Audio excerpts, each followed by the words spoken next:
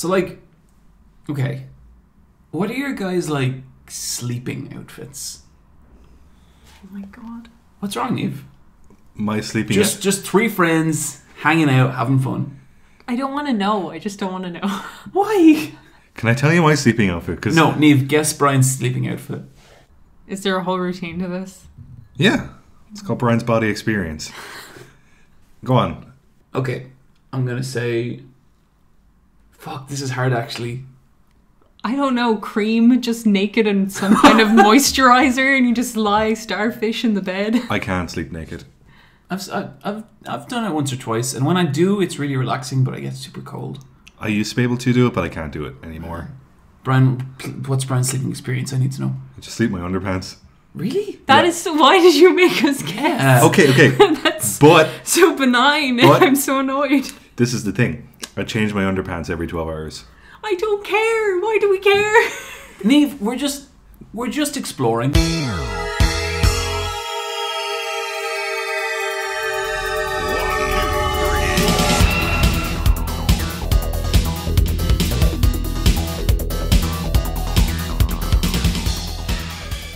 Welcome to the Let's Fight a Boss video game podcast, the world's strongest video game podcast. I am sitting here with two of the most talented professional wrestlers in all of Japan. To my right, I have the once in a lifetime talent, master of the moonsault. It's Brian. Hey, everybody. To my left, I have the Stardust Genius, master of the Tranquilo. He went to he went to Mexico. He got really chilled out. He came back. We'll get into all that. It's Neve. Hi. Hi. And with you always, I'm your host, John. That's John. Uh, he likes Minerva Mink. That I've been saving that all day. I have no understanding of that. you don't know who Minerva Mink is? No. Wow, you got a fucking you got a treat ahead of you later. She was the hot mink that was in the early seasons of Animaniacs, and they had to get rid of her because she was too risky, too risque. There was just model sheets of her in college, and it was like they were the most sexily drawn model sheets, and I was just I didn't understand why that was there. Yeah. Okay. Like you know how John gives you a hard time for being almost a furry. What? no. Well, let's just No, say let's just say that John's pointing the blame finger at you, but he's got four other blame fingers. Well, three blame fingers and a big old blame thumb pointed right at his big old blame chin mouth.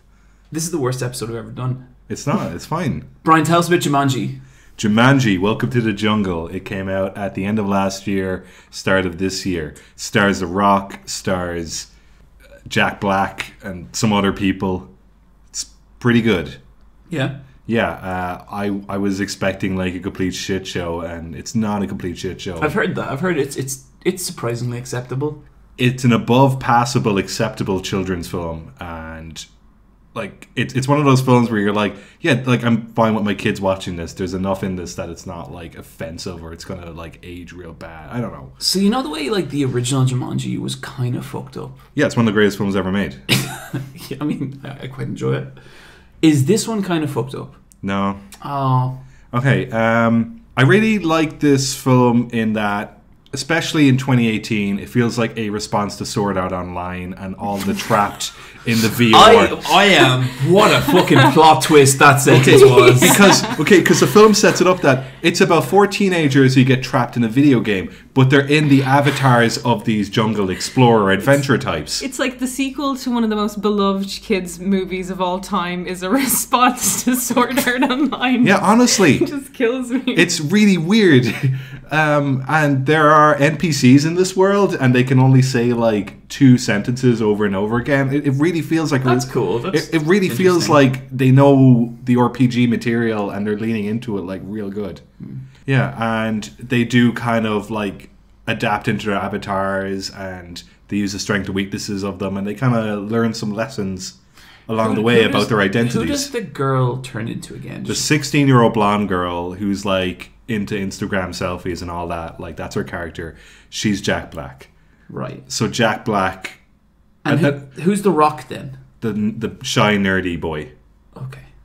and then uh, the big quarterback dude is like- Kevin Hart. I kind of like if the shy nerdy boy turned into Jack Black and he was like, "Oh wow, I transform." Oh, Uh, who's the girl? Who does she get transformed? Uh, that's Ruby Roundhouse is the character, but that's like the alternative girl who doesn't want to do gym and like answers back to people in this kind of education focus. So all of a sudden she's like like very early Lara Croft design with her bare midriff on, exposed, and she hates it.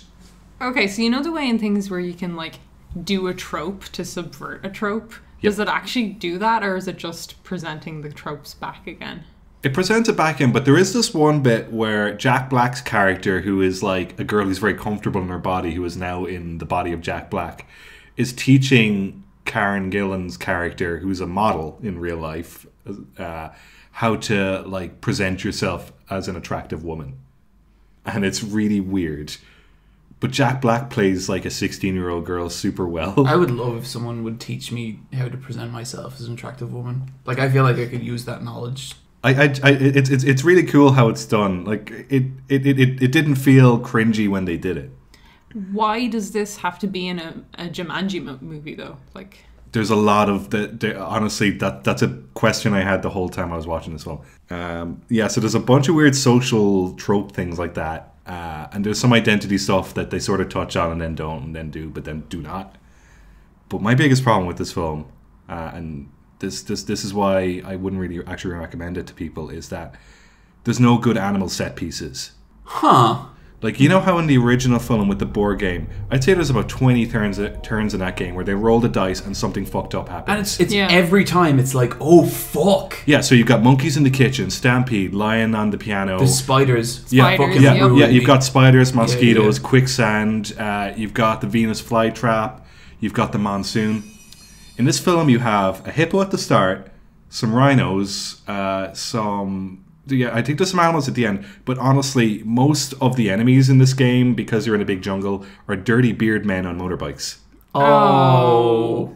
and they fucking suck. I guess like with the whole video game theme, it makes more sense. But then you could do like a platformer where there is kind of like Yeah. weird environmental Yeah, yeah, there's so yeah, they much could you play can do. into it. Yeah, that it, sucks. It, it really fucking sucks, and it's like this should be like a big budget film because it costs like a hundred million dollars to make, and there's very little animal CGI in this That's film. that's really disappointing. yeah, I, I was, I, I, I think that's why I don't think it's a great film. Yeah. Maybe like an okay film. yeah, a it's, it's, Jumanji it's a very okay film, and like it, it, it's cool how they set it up and end it because the first twenty minutes are with the kids. Like it, it actually doesn't show the people on the poster until twenty minutes into the film, and then for the last fifteen minutes they're not in it again. Right, right. Do you know what was way more fucked up than the Jumanji film? The Jumanji cartoon. Yeah. Oh, Never watched it. It was so fucked up. Yeah, because Like- like like it's Alan Parrish back in the Jumanji world, but he's got the two kids with him. Yeah, and so the kids like go into the jungle with him, and it was really like okay. So there's this episode where you know the hunter from the film. Mm-hmm. They Van meet Pelt. him- yeah, Van Pelt. They meet him and they kill him. Oh, okay. But then Alan starts becoming Van Pelt and he starts acting really fucked up. And it's really like upsetting cuz like he keeps getting like an urge to like shoot the kids and stuff and it's like it's not cool. And there's this shopkeeper and he only ever sells you like fucked up stuff. But he's like a Jumanji demon, you know? And so like he's kind of there as their sort of ally, but he's not. He's terrifying. I must I, I want to try and download this and watch some episodes again because from what I remember, it was like there was a kind of cruelty to this show. Like but I think there was a cruelty to the original Jumanji yeah, no, as there well. totally yeah, was. there's- Yeah. Yeah. It's like it's weird to say it's a pity the cruelty is missing from Jum- new Jumanji, but there's something real about it. I, I don't know. There's something so cool about I guess cruelty and ca- there's a Care Bears film, the one where they go to like the theme park. That's really fucked up. There's a cruelty to that film and it's great. Children's media doing that is always so much more effective. Yeah. Because like you're not going to do anything hideously violent. they're- It's, all They're pulling their punches on all the surface level stuff, but like beneath that, there's something more. Like there's something weird. It's like they're attacking you in a way you, you can't really understand. It's great. Yeah. there's a greater horror to watching something and being like, oh, something is off about this. I don't know what it is. Than just seeing something horrible happen. Totally, hundred percent. Um, can we just go back to Van Pelt for a second? Sure. Okay, because the way he's okay, so like in this reboot or, or the sequel, I guess they have a Van Pelt, but he's a different guy. He's played by Bobby Cannavale, who usually plays bad guys, but he, he's really really lame in this film.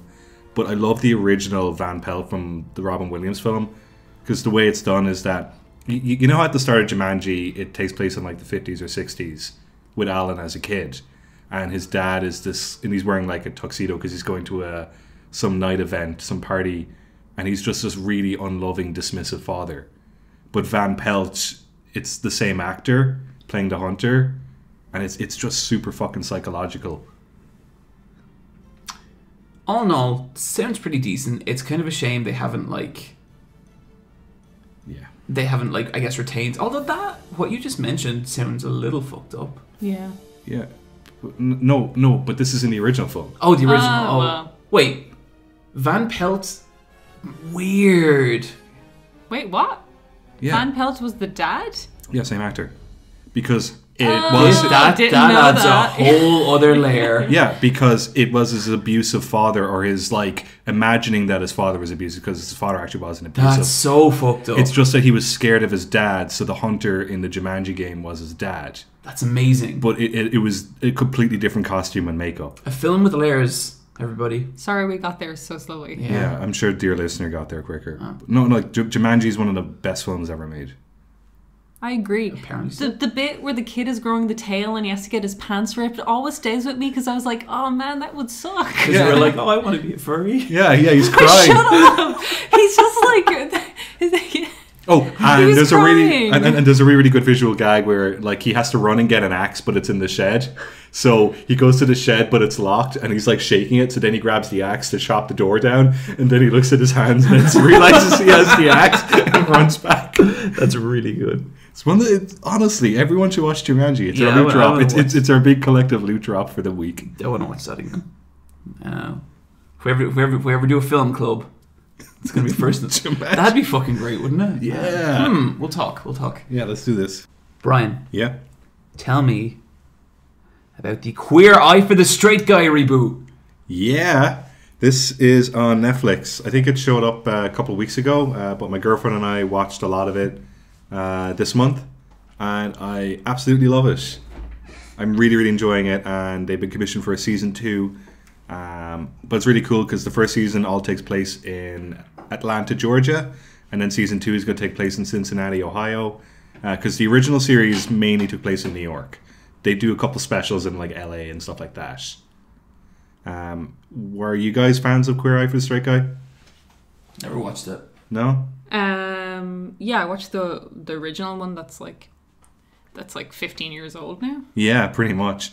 Um, yeah, no, it, it's just really cool to see it back. But like, the idea of this show is that it's the Fab Five, these five gay guys, and they help a straight guy out for the week by just sorting out his life. And they teach him how to like cook some nice meals, and they redesign his apartment or his house, and they'll teach him grooming and just you know just better etiquette. And then they sit back and they watch, and it's always very very satisfying. Uh, but I don't, I don't know. I'm, I'm just. It's really cool. I really, really, really like the gang that they have assembled for it. You showed me one of them earlier. Beautiful Karamo. man. Yeah, yeah. Beautiful man. Um, it's cool because they're all in their like mid to late thirties as well. Um, I, I think it'd be different if they were like in their early twenties, but because they're just like very much well established, and I think a lot of them have backgrounds on other reality TV shows, or they're kind of like co-hosts of like his like shows like shows on the his his his history channel, things like that. Like I think one guy was on like the second season of uh, the Real World on MTV. So, okay, forgive my ignorance here. Yeah. What are they teaching this guy to do? Is it like just take better care of himself? Yeah, so like they'll go to his apartment and it'll be like a complete shithole. Oh dear. and he'll have all this clutter and he's like hoarding or something like that. So they'll get rid of all that stuff and they'll find out like what what what uh, stuff he likes. Like maybe he's into films or something. So then they'll optimize his apartment so he has like framed film posters. That's really nice. Yeah, and they'll do like a facial care routine with him. Uh, I love those bits. Uh, It sounds a little bit like Hoarders. Yeah, it Well, like, kind it- of, it- it's a reality TV makeover show. The Like, only, oh, Yeah. the, only, that's the, only, the only thing with Hoarders is I thought Hoarders maybe got a bit too real at some points. yeah, They all do. We we talked about this in like the first or second episode of the podcast. How like Hoarders always hit this point where it was a real bummer because you'd just be like, "Oh no, this person has like serious mental issues." yeah. Like you you try and watch that show because you thought it'd be fun, but then it stops being fun. it's fun every now and then, and then every like one in five episodes, you're like, "Oh, this this this poor person needs help." Like, Yeah. Um, like with with with with with with with, uh, with, with, with uh, Queer Eye, they kind of touch a little bit on serious stuff, but for the most part, it's very fun. Like there there's there is one episode where they help a preacher, uh, but one of the guys was like super religious growing up. Um, one of the Fab Five. yeah, so they just have a very interesting talk about religion. That's interesting. Yeah, but like it's kind of done in like a very safe way where they don't like it, it, it's just something they acknowledge, but maybe they'll go further with it. That's like one thing. Like I think Queer Eye, when you watch it as just like a fun makeover show, is great. But there's a lot of like push from the marketing team to be like, oh, this is acceptance and this is like a big deal for LGBT community to have this show. Yeah. And I think it's such bullshit. Like it's really not. Because, well, like, I guess the impression I always got of it, it's a show for straight people. Yeah, it is Yeah, it is. exactly what it advertised to be. It's Yeah. like Queer Eye for the straight guy. No. But I think a lot of the marketing and advertising and a lot of the sometimes feel good moments are like, we've taught you not to be homophobic. Congratulations. Yay. They do a bit of that, but then there's this one episode where they help out a gay guy. And he's a closet homosexual to his family, and he lives a very separate life with his friends. And he does not consider himself like feminine in any single way and refers to himself as the straightest gay guy in Atlanta. That's really sad. Yeah. And it is the saddest episode with the happiest ending. It's just like, yeah, yeah. I mean, I'm sure it is. Like, it's just reality TV. No, like it, it, but like this is one where like it kind of broke the reality TV mold and got like super good. And I kind of wish they didn't film certain parts of kind of hate the core concept of kind of getting vaguely homophobic people who are kind of gross and getting five gay people to be like, hey, stop being like kind of homophobic and gross at the same time and we'll do up your kitchen. Like, I just like, that's where There's I. a toothlessness there. yeah, Yeah. But see, but see the thing but about I think the, that's fine. Like, it's just no, reality But see, like the thing about the season is the men in it aren't really homophobic. They're just like they just don't understand. That is homophobia. But like well, they're like, not. What do they not understand? Just taking care of themselves. yeah, I mean, I get that. Like, if But they do push the whole like they don't get like oh gay guys as well aspect of it. It's not just that they happen to be gay. It's the Like, fact that it's gay of- men helping straight men. kind of. It, it, it's just different to the original series that way. Yeah, I know, I know. But like and I think that's fine. Like I think it's a fun show to watch, but the marketing around it really pushed this whole like we're bridging a gap between people. And I thought that was really disingenuous for what is a real just like kind of just a reality show. Yeah, I, I, I didn't see any of the marketing. I, I, I merely watched it on a whim because Yeah. uh, another friend recommended it. So I, I just I I recommend it. Um, okay, so I've been pretty excited about to talk about this next thing. So I want to do a little setup here, okay? Imagine you had something you loved your entire life, and then one day you found out that there was just a completely better version of it. In every way, a superior version in every way. So like if you had like your favorite burrito, but then found out another burrito place does a better version of it. Yeah, the other like the other burrito places sources all its ingredients. It's way more legitimate. It's like nicer staff, comfier seats, like better flour, just everything. Everything down to the finest detail is better. I started watching New Japan Wrestling, New Japan Pro Wrestling, and I started with Wrestle Kingdom 11. This was a five-hour wrestling pay-per-view, I had no experience with New Japan. I had dipped in and out of matches in my time. I had just never sat down and watched it properly. And oh my god. I love New Japan so much. My girlfriend has had to put up with so much shit this week because I won't shut up about it. Okay, imagine wrestling, except if everyone's gimmick was just that they were a wrestler who tried very hard. That's New Japan, and it's fucking incredible. So it's just all good guys? No, no. no, that's not what I said. Okay. like I, I'm exaggerating it there a little bit, but everyone's gimmick is just that they're a wrestler, and but their personality comes through with the matches because these performers are so fucking incredible at telling stories through wrestling matches that they just you just get it. You're like, oh, I, I get what's happening here. No one says it, like, people don't talk on the mic often. There's no backstage sections. No one drugs anyone and marries them. No one starts a secret cult except kind of the Bullet Club. It's just, it's just so beautiful. It's theater. It's theater. And it is, like, there's so much I want to say. Okay. There's a tag team called the Golden Lovers who are two men Kenny Omega and Kota Ibushi, who may or may not be in love, but they're pretty fucking in love. And it has been a storyline that's been developing for 10 years and only came to fruition recently, and it is genuinely one of the most touching and beautiful things I have ever seen. And they're both amazing wrestlers. So, okay. The biggest heels in New Japan are this faction called the Bullet Club and the Bullet Club's whole gimmick is that they're American. It's just filled with American wrestlers who wrestle like they're in America. So they interfere, they do chair shots, they do all this bullshit that only American wrestlers do. And that's how they're the like people just fucking either love them or hate them in Japan because they're ruining Japanese wrestling. But that's their gimmick and it's incredible. Um I'm gonna drop a I'm gonna drop a loot drop later, and it's this really cool YouTuber called Showbuckle, and Showbuckle, what he does is he takes J- matches from New Japan and breaks down the story being told.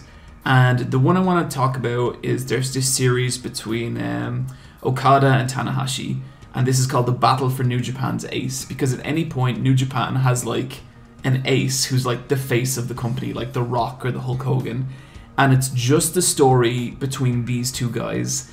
And the entire story it's just wrestling matches. And it's like fucking fascinating. So the first thing that happens I'll, I'll, want to I want to get the ball rolling a little bit is Okada comes out and he has this shitty wrestling match with this kind of nobody. And he's crap. He's not good. It's not a good match it's not entertaining his finisher's weak his clothes don't fit right and so then Tanahashi who is like the guy in New Japan, like is the main event that night, and he wins. And then Okada comes out, and Okada Okada is also known as the Rainmaker because when he walks out on stage, it rains money because that's how fucking good at wrestling he is.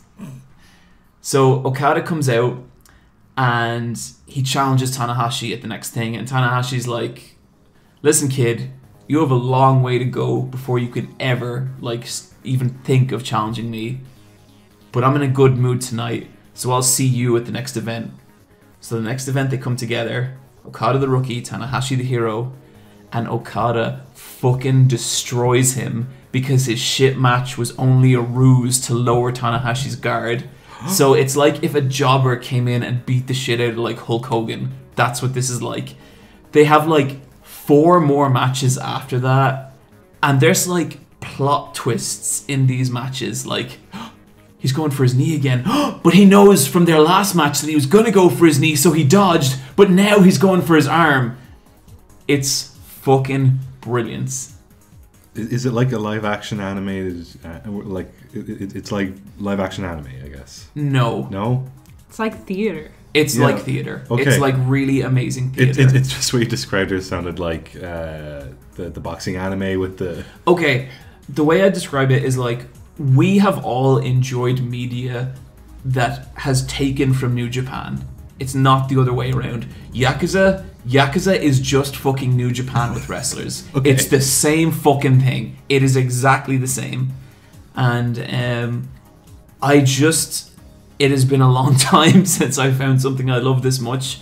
But like, Bullet Club t-shirts are ordered. I, I, I, I do the too sweet with Michelle all the time. The too sweet, everyone, is when you make a little wolf. Okay, Brian, Yeah. put up your hands, make a little wolf face. Too sweet. Neve, too sweet. That's what we all do Is now. it wolves kissing? It is. That is cute. Yeah, like a sniff kiss. yeah. This is the, it's something that the NWO used to do way back in the day, and the Bullet Club are a rip off of NWO, but they're a fake NWO in Japan, and it's like there's so much here. Kenny Omega is such a good boy. What a troubled life. He wanted to be the best. His boyfriend abandoned him. He joined the Bullet Club. He became the leader of the Bullet Club, but he missed his boyfriend so fucking badly that it tore him apart inside.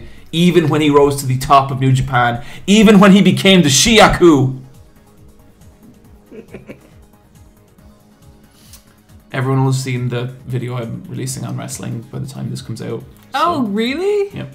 Nice. I think I'm about to destroy my career, but I just I feel a lot of love for wrestling right now, and I can't hold it back I, anymore. I, I think you're about to get a whole bunch of new fans.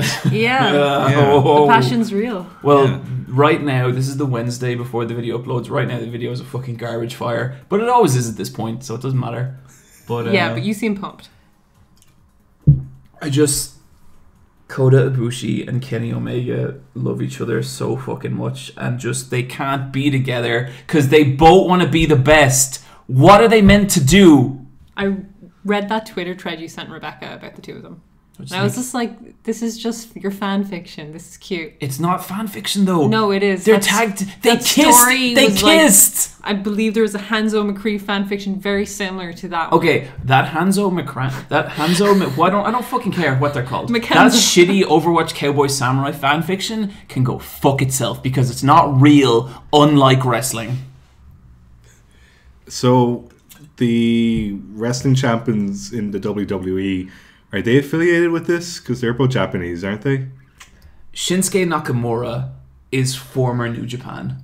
And Asuka is not. And Asuka's not the champion. She was the NXT champion. Now she's on the main roster. Okay. And then next week at WrestleMania, she's fighting Charlotte Flair for the championship, and that is my most anticipated match. John, I want to watch Asuka fight, and I don't know where anyone would start with wrestling because it's impenetrable, quite like X Men.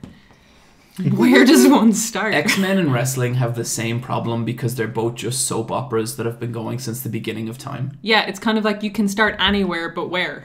Um, honestly, like, kinda anywhere.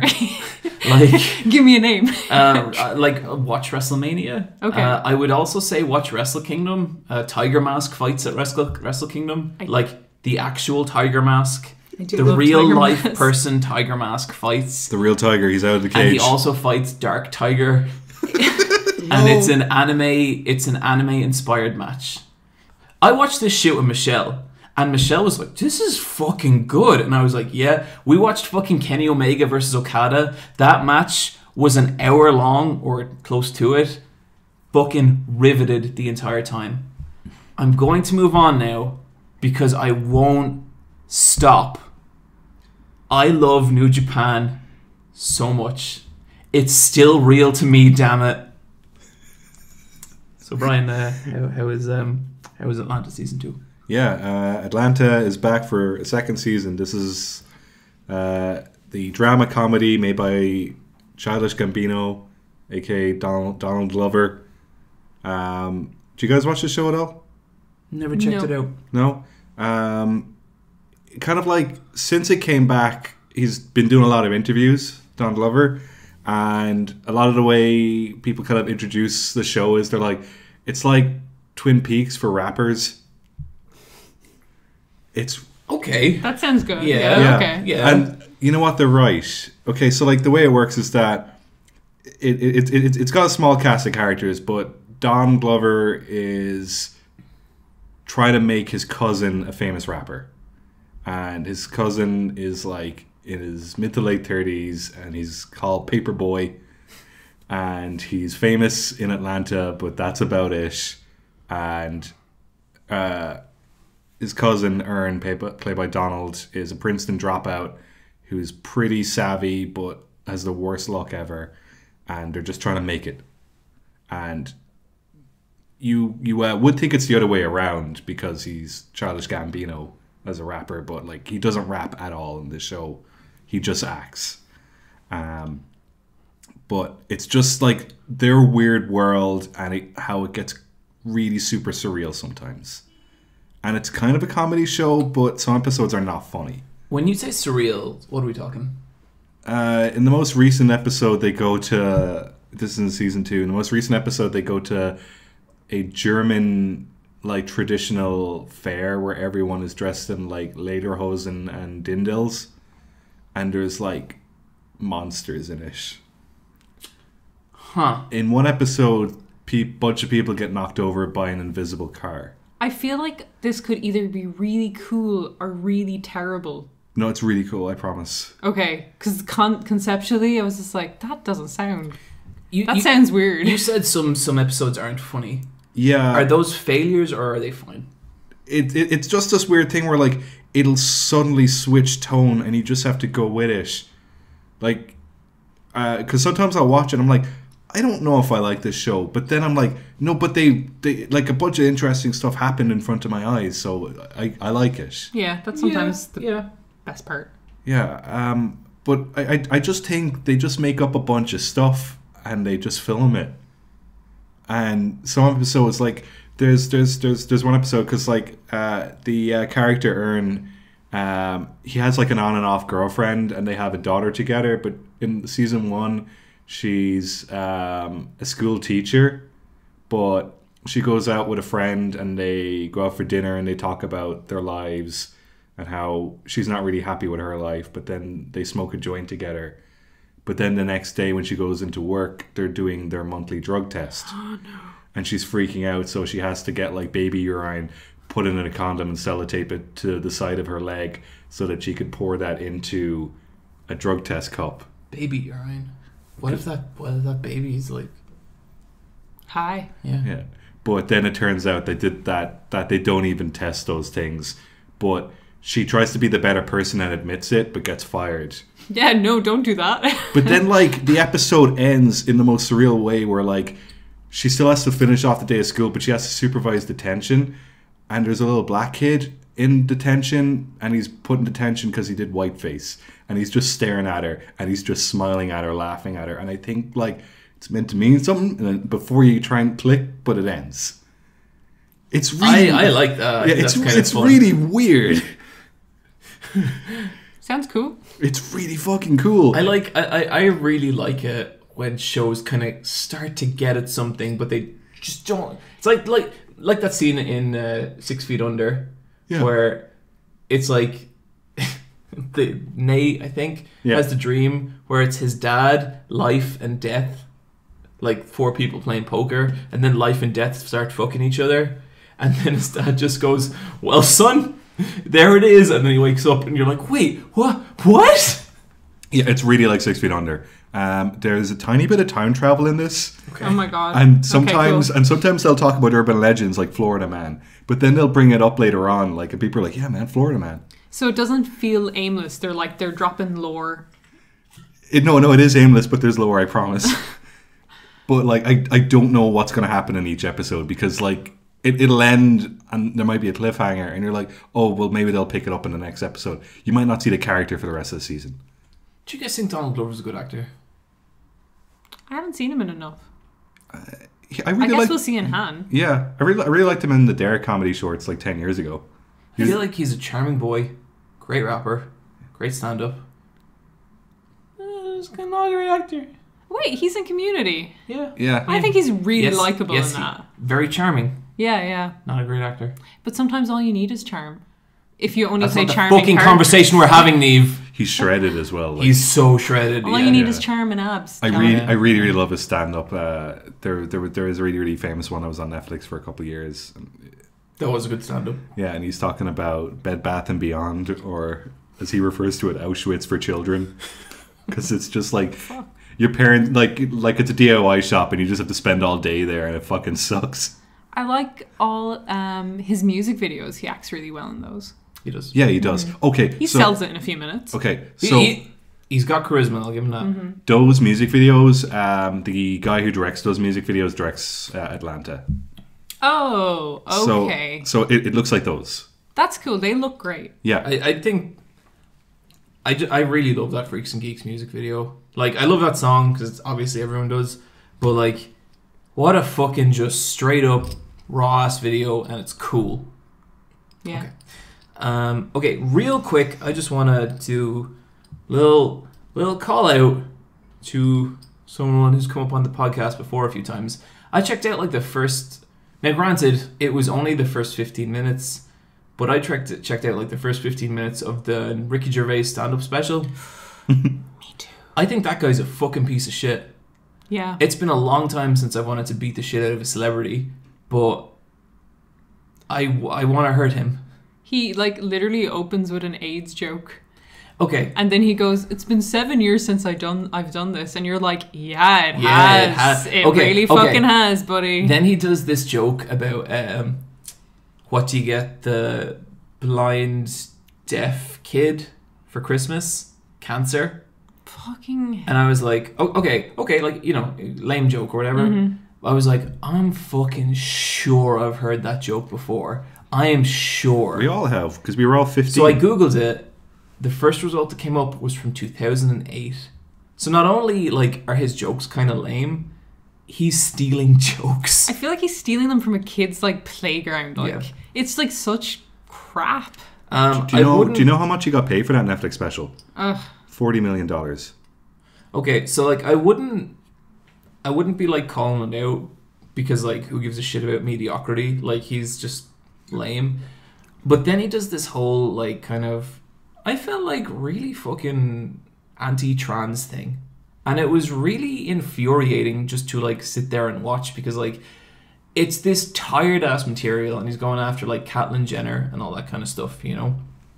And it was just a consistent bunch of lame jokes about how this girl used to have a dick and it's like it wasn't funny he wasn't saying any like i know obviously comedy is very subjective. He wasn't saying anything But you know he's not even writing these as jokes. He knows that this is like a topic he can try and push buttons with, and he's doing it to be cruel. Like he's a cruel person saying cruel things because it know he knows he'll get his like Twitter likes. I honestly think that's how, see I, I, I. I kind of have a different read i think he's so fucking stupid he didn't know that was going to happen and then when it did he was like oh shit what can i do now and then he takes up this like humanist approach oh, okay. You No, think he I, like I like I I Hmm. do not I don't have faith in his intelligence enough that he could plan that far Yeah, ahead. he's probably very det- detached from reality. yeah.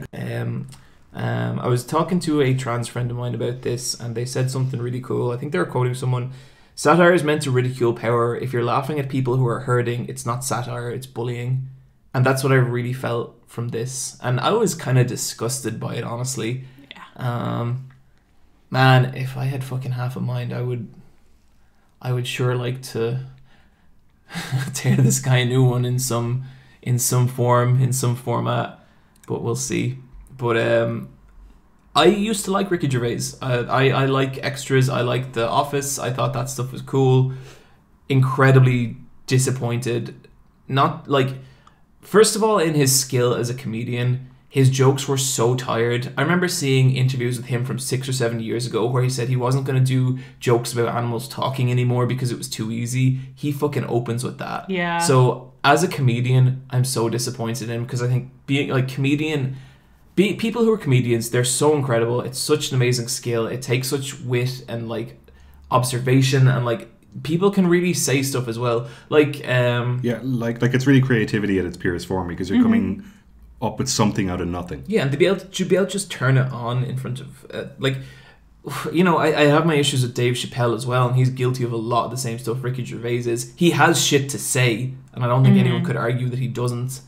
And um, that's what really got me about this. It just felt so empty and so tired, and for it to be gross on top of that, for it to him to be kind of going after people who, like, they're defenseless. Like it's punching down that was really pathetic, especially in this day and age when there's so much to talk about.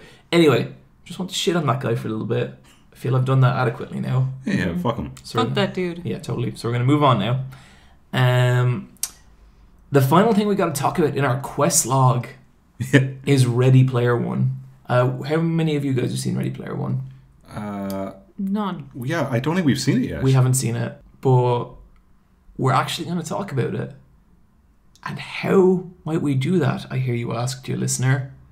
Well, through the magic of editing. Over to you, John. Thank you, John, for that beautiful handoff. So, uh, I'm gonna paint a picture for you guys. It is like half 10, 10.30 for you Americans. We're wandering the rain-soaked streets of Dublin, and we have all just come out of Ready Player One, the greatest story ever told. John, that's a lie. Such a hardcore lie. I okay. I'm gonna I'm gonna I'm gonna open the volley here. That is my least favorite movie I've ever seen. I think it's the worst film I've ever seen. Not the worst for me, but in my top five. Like not being facetious, that that film, L- Niamh, you put it best. I felt negative emotions, like not bad emotions, like the minus inversion of emotion is what I felt. If I have seven feelings to me, I now only have five because it removes some. Yeah. Um, I think I was the only one who was like optimistic about this film or looking forward to it. Ten minutes in, I wanted to get off that ride. It was like, e- like for me even, I thought it was a shitty piece of shit. Like the level of like reference, it's so surface level and so just completely like even less than I thought it would be. Like it's just like oh, there's a character you recognize, or oh, there's a bit you recognize, but that stuff's all bad. That stuff's just like it's nothing, and like it's a, it's a film without a story. There is no story. There's a plot. Mm-hmm. It's not a story. There's no character development. There's no world building for something that hinges so much on this kind of dark, shadowy company trying to take over something and have like outward cons- out like consequences in the real world and in the Oasis. We don't know anything about that company.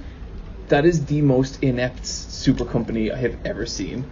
Like, it's fucking. They are fucking Scooby Doo villains. Those guys. My best moment in it is when the bad guys reveal their motivation was to put advertising in the UI of the Oasis system, and that that's super bad. That sucks. Next shot, it's them in a literal virtual shop where you see the logos for Overwatch and Halo. It's like, oh no, not advertising in the Oasis. So, all that stuff was bad. It was a plastic, sad, just nothing movie. But there was a bit about halfway in, and we've decided we don't want to spoil this bit because people should just come to it on their own. But we'll just say, like, part of it takes place entirely in a very beloved piece of media. And this is the part where the film started actively hurting me. Like, I, ca- I, I, I just I, I don't even remember what I said. I just got very panicked when it seemed like we were going to what we were going to. And it happened, and we spent 10, 15 minutes there. yeah, 15 minutes Uh, inside a full reference. Yeah, this this is something that isn't any in, in, in, in the promotional material or anything. Like this completely caught us off guard, so that's why we don't want to spoil it because we think that if you're curious, you'll know the bit we're talking about. Jesus fucking Christ! What the f- you like? I don't I don't even get annoyed about like this kind of stuff. Oh, we got to all right. I don't even get annoyed about this kind of stuff because like I always just feel like the original piece of media is always the original piece of media and you can't change that.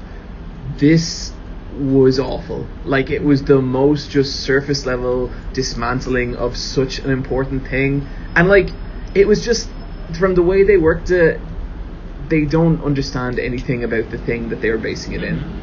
Do you notice that there's no Steven Spielberg characters in the whole thing? And he said he didn't want to put his characters in it. I think he has more respect for his shit than he has for other people's shit. Yeah, there's there, there, there, there, there, there's stuff he produced like Back to the Future, and he has a big connection with what Warner Brothers and Iron Giant and stuff like that because he's very close to Brad Bird. But there's no Jaws. Um, E.T.. There's no ET. There's no Indiana Jones. But maybe he doesn't own that stuff. It's just Did he direct that? yeah. He directed all the Indiana Jones films. No, did he direct Ready Player One? Yeah, yeah, Yeah. Spielberg. He's fucking shit now. It's like some people are saying, well, look, guys, it's still a Spielberg film. It's still like it's still good because of that. No. No. No, it's not. And I have seen people say that this film, it's actually pretty alright, it's fun. They are wrong and they don't understand art. They don't. I'm sorry, they don't. It's true. Mm-hmm. This film makes me like art less. So how, how did we describe it? That it's like being trapped in. A, a, For me, it was being trapped in a queue for a toilet or food at a con, and there's four people in front of you talking the most inane bullshit conversation, and you need to pee and you need to get food, so you can't leave, and you're there for two and a half hours, I guess, and it's just suffering. Uh, the way I described it was that it's like being trapped in an elevator with 10 14 year olds who have all just discovered or slash atheism and they all just keep screaming, Do you get the reference? What about you, Bryan? for me, it was the monster within that I don't want to let out, and it reared its ugly head, and I went, no, that was for one night once, and I'll never see that boy again, ever. It was like just a genuinely awful film. Like just soulless and plastic on every level. And I'm sad now. Like I'm actually sad. Like the film made me sad. Can Yeah. you say one nice thing about it? I liked about five seconds when one robot thing was fighting another robot thing. Yeah, like there, there, were- there, like for for for a moment there was a bit of hope, mm-hmm. then there wasn't. The one bit I liked was there's a car race at the start that doesn't have any music. It just has sound design of different car engines, and I thought that was good. I thought I would like that, but I thought it was a really boring car I chase. thought it was just completely soulless. the stakes are so low because you know they're not going to die. Like, Yeah. you're just like, all right, cool. Uh, the one good thing I could say is it does seem to be a feat in 3D animation. It was very fluid, and the cuts between animated segments and live action segments were just perfect. Like, there was no jarring. Ugh. Yeah, yeah, like it felt very seamless compared to something like James Cameron's That said, I- Avatar I, film. thought the 3D character designs were hideous. yeah, Oh, Yeah. it, it, it is an ugly looking film. Yeah. Mm-hmm. Just, it is not a beautiful film. I hate this movie. It, it has shitty cinematography. It's just awful. Awful. Out of 10? Zero. Yeah, Zero. yeah, Zero. zero. Just a zero to ten film. yeah, it's it's a machine made by algorithms. It can feel- Yeah, it's just it's nothing. You know, guys, I think we should go back to us in the past. Okay. You know, and you know what?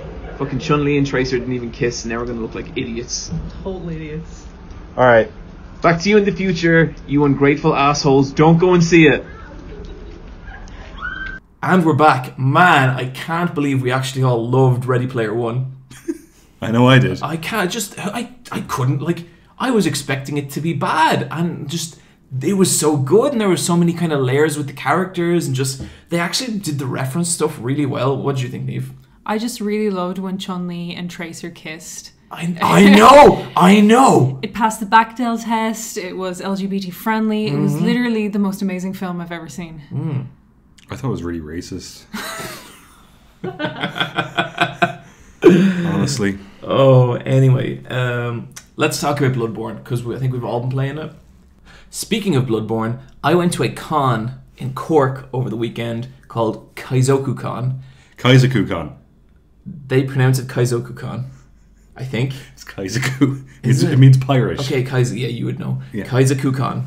Um, really, really cool little con. Um, really friendly staff. Met a bunch of fans. Had two panels. Fucking the panel on the Saturday was really great, and there were some really great, great questions. And I got to talk about Grappler Baki a bunch on stage in front of a room of people, which is just what I've always dreamed.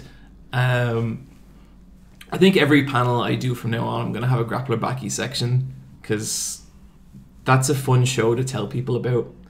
But um, the reason I bring it up is that okay, so the con is like in this like square, and it's like it's like kind of you know it's not huge. It's a little kind of it, but it's it's it's on like the it's a college, of a college. camp- yeah, yeah, yeah. College campus.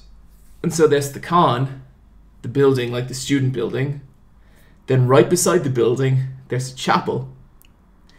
And at this chapel was a wedding not 20 feet from the con. No. Yes, yes. Oh, did they embrace it? They need to embrace that shit and get photos with cosplayers. They did not. oh no.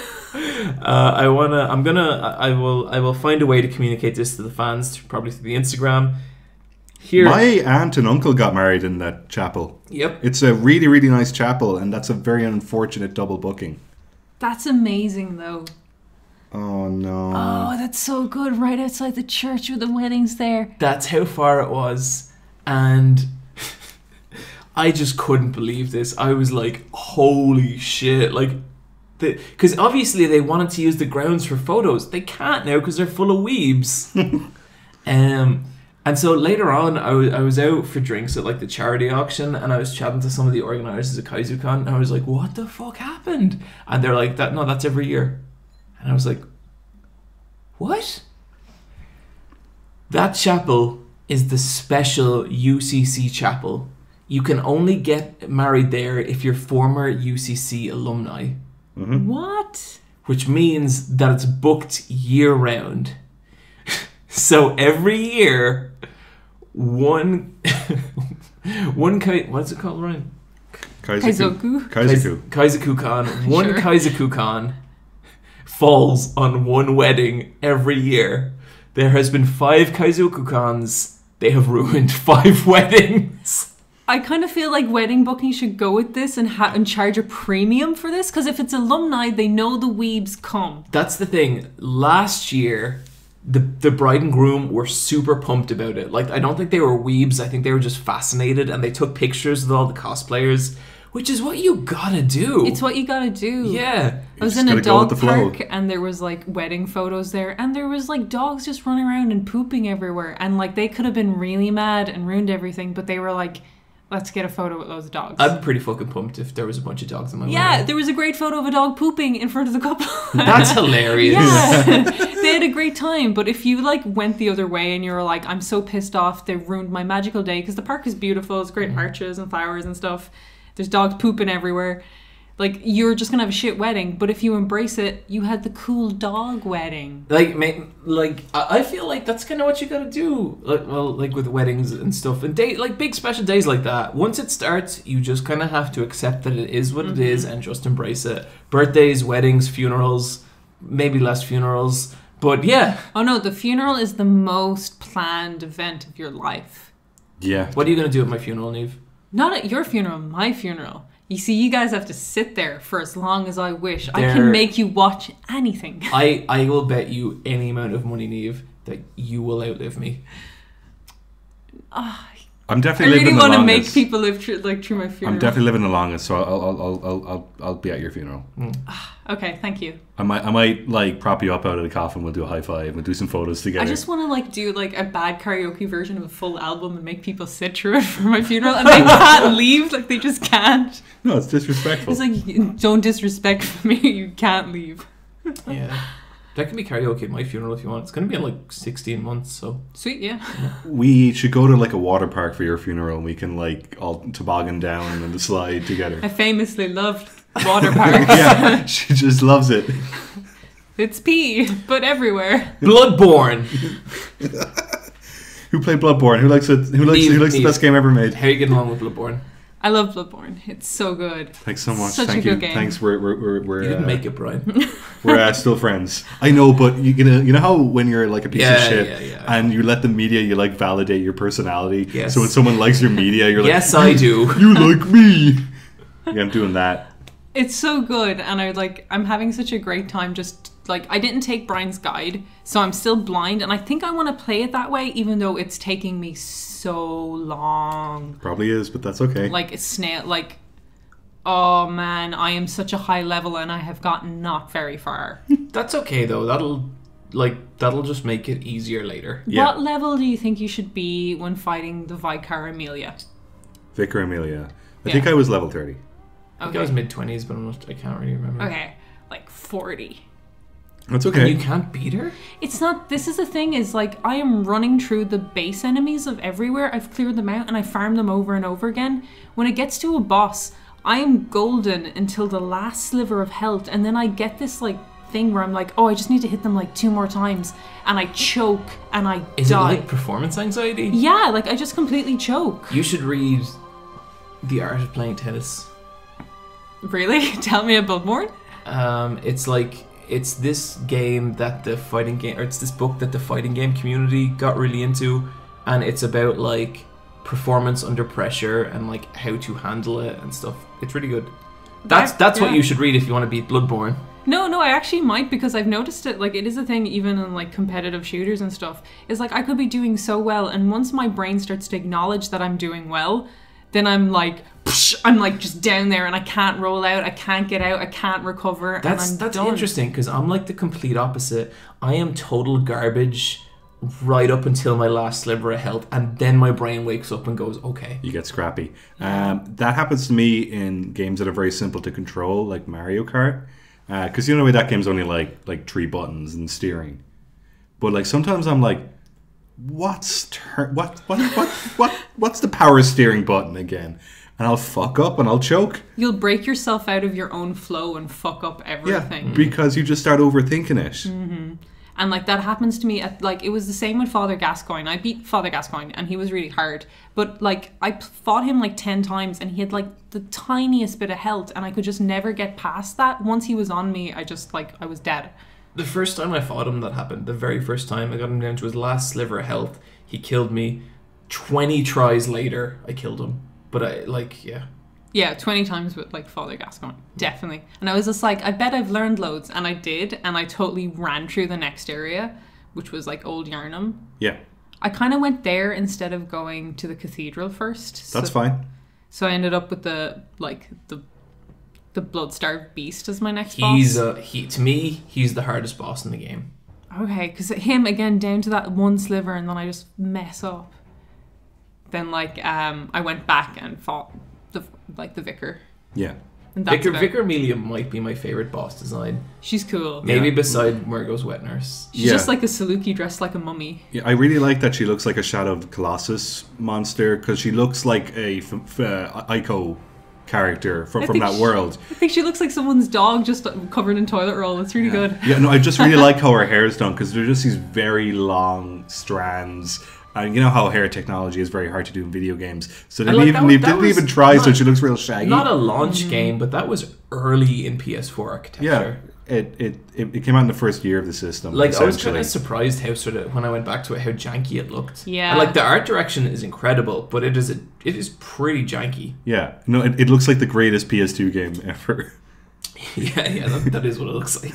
It just looks like like a really really nice PS2 game. Did you guys go for the shotgun or the pistol? Shotgun always the blunderbuss. Because I'm using the pistol. I'm using the pistol too. Holy shit, that thing is much better than the shotgun. Same. It's, yeah. it, it's just got a quicker draw. Quicker draw, longer range. just range. distance. Yeah, the Yeah. range is what I really miss from it.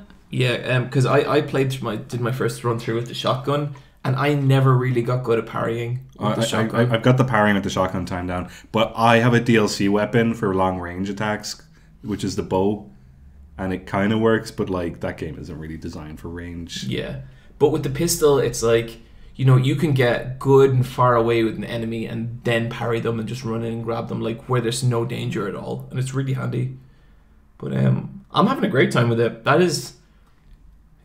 Hot take here Bloodborne's a pretty good video game.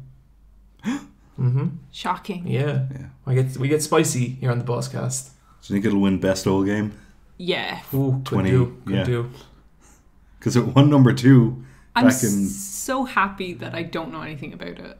at all. Yeah, I just managed to not I'm, take it I'm, in. I'm real excited for you to like there's no like plot twists but Yeah. just the way that game unfolds is fucking great when I first saw the big skeleton dude, like the really tall guy in a top hat with an axe, and then another one has a ball and a chain. so cool. They're so tall and big. I was like, oh no, like no. And now I can just take them down. Yeah. But like when a boss makes you stop, like that's so good. Or not just a boss, just a random enemy. I, I, I really like when you get a bit too cocky and you're like, I'm pretty good at this game. Mm-hmm. And then you'll just fuck up so bad. And you're like, well, you know what? That was on me. you'll run into like a crowd of the low tier enemies they'll all hit you at once and you fucked up Yeah, absolutely. i like it when you kill them and they're like i've cobbled me britches this town's finished. oh me bollocks Oh, I like the I like the one that's like you're cursed. You know, because I'm like, am I? Every Oh, time. why? Oh, why were you? I love that one. That's the guy the with the, sound torch. design is so good in that game. Yeah. The fucking cleric beast and its noises. Oh, it's just the screaming game. and like you, you said it last episode, Niamh, but you know the bit where you just go up to the, the door and you knock and all you hear is I really love those doors. So every door with a red light, I can I can knock on. Pretty much, yeah. Like it's got a little lantern. It means Mm-hmm. there's some NPC that they didn't bother modeling that you can interact with. Hmm. Um, I really like the guys that look like a scaled down version of the El Gigante from Resident Evil 4. And they have like a brick Oh, yeah. and they go like, oh. Um, have you gotten to the safe space, Niamh? Yeah, you, you have. Yeah, yeah, yeah. It, it's like it's like this. Like, there's this little gnome lad. He's really easy to miss. Is this someone in the red? Yeah, yeah, Yeah, yeah. yeah. Oh yeah, and he's just like you send anyone my way who like needs help and stuff. Yeah. stuff. Have Yeah. you sent Is- it? No, I haven't sent anyone yet, but he seems dodge. Nice. Oh, sound. he's cool. He's not going to eat. No, flesh. but the people you can send there can be pretty dodge. Mm-hmm. Uh, Um, it's really worth looking up some lore videos because they actually do some really like cool and subtle storytelling in that chapel. But maybe a maybe a post game thing to check out. yeah, everyone's been telling me to look up lore like post game because Yeah. it'll just spoil Yeah, me. no, do Because like, not. 'cause, like Yeah, the don't. world and story of Bloodborne is fucking awesome. Like it's better than the Dark Souls games, I think. It's really cool. I really like piecing it all together, and it's always visually interesting. A very good video game. Very good. Yeah, we're gonna um, gonna go against the grain with that opinion. I know uh, Bloodborne never never reviewed very well, never built up much of a fan base, much like the Souls series, and uh, I think people will be relieved to hear someone finally talk about it on the internet. Okay. Yeah. Definitely. Yeah, totally. Um, Bryan, Yeah. tell us about Kirby All Star Allies. Okay. Uh, this is the new Kirby game for the Switch. And it's pretty good. But I didn't love it.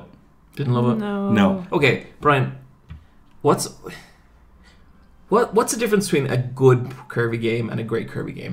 Okay. I guess, like, a list of stuff that kind of put me off. Okay. This game is four hours long. Oh, Is it full that's price? so bad. Uh, yeah, it's a full price game and it's four hours long. Who? This is one of the easiest video games I've ever played in my life. And, like, I'm talking easy for Kirby. And, like, Kirby was like the one Game Boy game I could beat when I was little. Yeah, well, like the first Kirby game is four levels long. You beat it in half an hour, and um, but like this game is so easy in that like it's got collectibles and unlockable stuff, and even that's easy. Like it, it's signposted everywhere. So you just feel like you're just running through the game. Yeah. That sucks. Um, the game is extremely well polished. Looks absolutely fantastic. Like looks better than Donkey Kong Tropical Freeze in terms of being like you know a fully Strong flourished art direction. Yeah, strong art direction, 2D, 3D rendered uh, platformer. Um, and the ally system works pretty well. Um, What is the ally system? It, it, it, it's just you swallow well like I, I- guess it's space from kirby's Fun Pak which is my favorite kirby game but it's just that you will throw your heart at enemies and then they'll join your side and up to four people can play which is something that they had in return to dreamland because this is like the kirby version of the new super mario brothers games on the wii and the wii u um, but like i don't know this, this kirby game just doesn't do anything new Right, right. there's some new abilities and they're okay, but this doesn't feel like it was touched by Sakurai at all. There's no Yeah. kind of like concepts. Like a lot of the music in this game is just old music that they'll just that's done by a new orchestra. Like like it, like it's really really really good fan service, Right. and the game feels like the nicest warmest hug, but it's not a satisfying hug. Hmm. What's a what's a not a satisfying hug? I Like don't know. Well, slap? like when someone's like kind of like they rub your back and like they kind of lean in, you can kind of. Or do you know what? They hug you, but you weren't finished with the hug, and you're like, but And they end it with one of these. Yeah, honestly, the, it just Don't pat. yeah. It, Rub, rub or do nothing. Don't pat. I, I don't know. Like I'd, I'd like a hug and then like a nice, like encouraging bit of advice, but it doesn't do that. And like for like for like most of the game, it'll set it up where like there's no dialogue whatsoever in this game. It's all told through them like miming and pantomiming, I guess, or you know, just doing a lot of corporal acting. Of reacting to the narrative. But then towards the end of the game, you fight these bosses, and they just have these big things of text dialogue.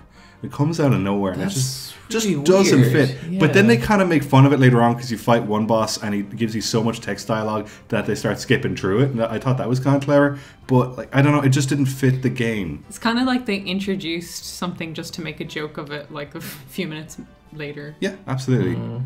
Um, I, I would not buy this game unless you're like a hardcore Kirby fan. That's disappointing. But Yeah. you are a hardcore Kirby fan. Oh yeah, absolutely. Um, but like this is not like a top tier Kirby game at all for me. And this is one of I think this is like the third shortest Kirby game made. Are you going to trade it in?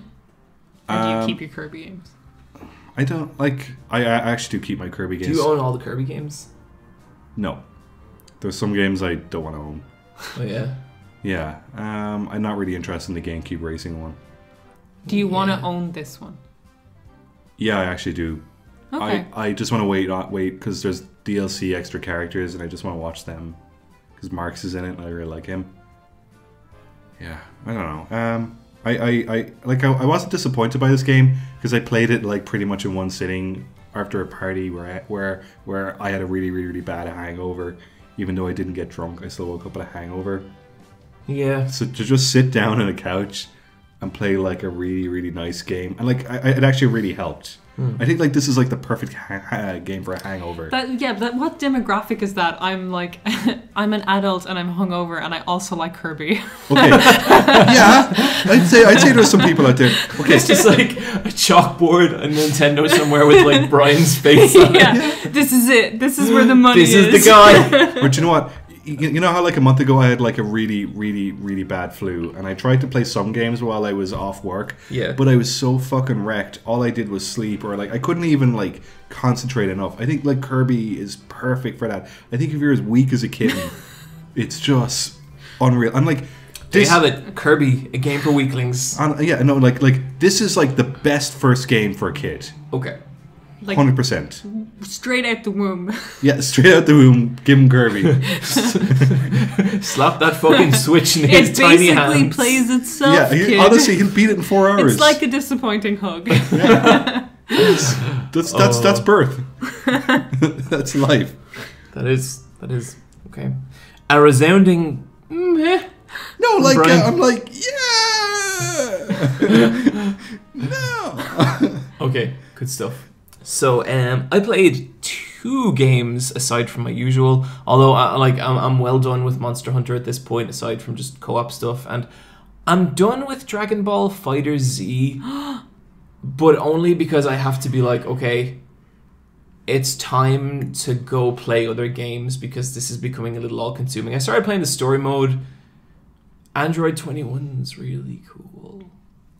I like her dress. I like her a lot. And I like her voice actor a lot. And she just she just goes around eating things and beating the shit out of things and I like both those things, so I think we'd get on like super well. Um she's really cool. But I also played two 2D survival horror games. The first was Claire and the second was Detention. I've heard of detention. Haven't heard of Claire. So Claire is a game I've had my eye on for a while. It came out this month on PSN, so if you're hearing this No, it's probably gone. Although it might still be there, so if you're hearing this like the night it goes up, Claire is free on PSN along with Bloodborne. Um Quickly. and it is basically Okay, here's what Claire feels like to me. Claire feels like a 2D Silent Hill 3 fan game. The girl looks nearly exactly like Heather from Silent Hill 3. You wake up in a hospital, don't know what's going on. It's all getting attacked by odd monsters. It's all very it's very Silent Hilly. And I was digging the aesthetic, I was liking the sound design, but then the kind of actual game kicked in and like you kind of get attacked by these shadow monsters. You have to like run by them. That's kind of it so far. I've only played like the first hour and a half or so, and it's not really scary. Like, Is it Pixel? yeah, very, and it looks cool. Um, th- they maybe overdo it a little bit with the lighting effects, like, but it's it's got a look, and it's got a look that evokes that real kind of ashen amber Silent Hill 3 look, which is cool, you know. But it just feels too much like a fan game. It feels too much like someone just loved Silent Hill 3 and made their own game out of it. Um, I could be wrong. I'm only a little bit in. If there's people who's played it and can attest that this is a really good game, then by all means hit me up. Let me know that it's good. But I find that Silent Hill fan games, and when I say Silent Hill fan games, I mean kind of like you know spiritual successors and like. They have this problem where they they fall in love with the aesthetic of Silent Hill without getting at the underlying mechanics. Like if you look at each Silent Hill, there's shit kind of going. Well, specifically two and three, there's shit going on beneath the surface that generates the horror. Like it's never just like, oh look at this fucked up monster. Like there's a reason you know all the monsters are so sexualized in Silent Hill mm. two. They got The- subtext. Yeah, there's a mm-hmm. reason all the monsters look like dicks in Silent Hill three. You know, it's like there's shit there Semiotics, people. semiotics people and unless you get that what you get is a very surface silent hill experience. And unfortunately like i found this with claire and i also found it with the game lone survivor. Um that was a i think that's a probably a better game than claire from what i've played but it was also this 2d pixel silent hill, silent hill 2 thing. You wake up you don't know what's happening it's all very strange. There's you know characters that may or not actually exist stuff like that which is a bit of a bummer both those games because I want more Silent Hill, and it's really tough to find games to fill that niche.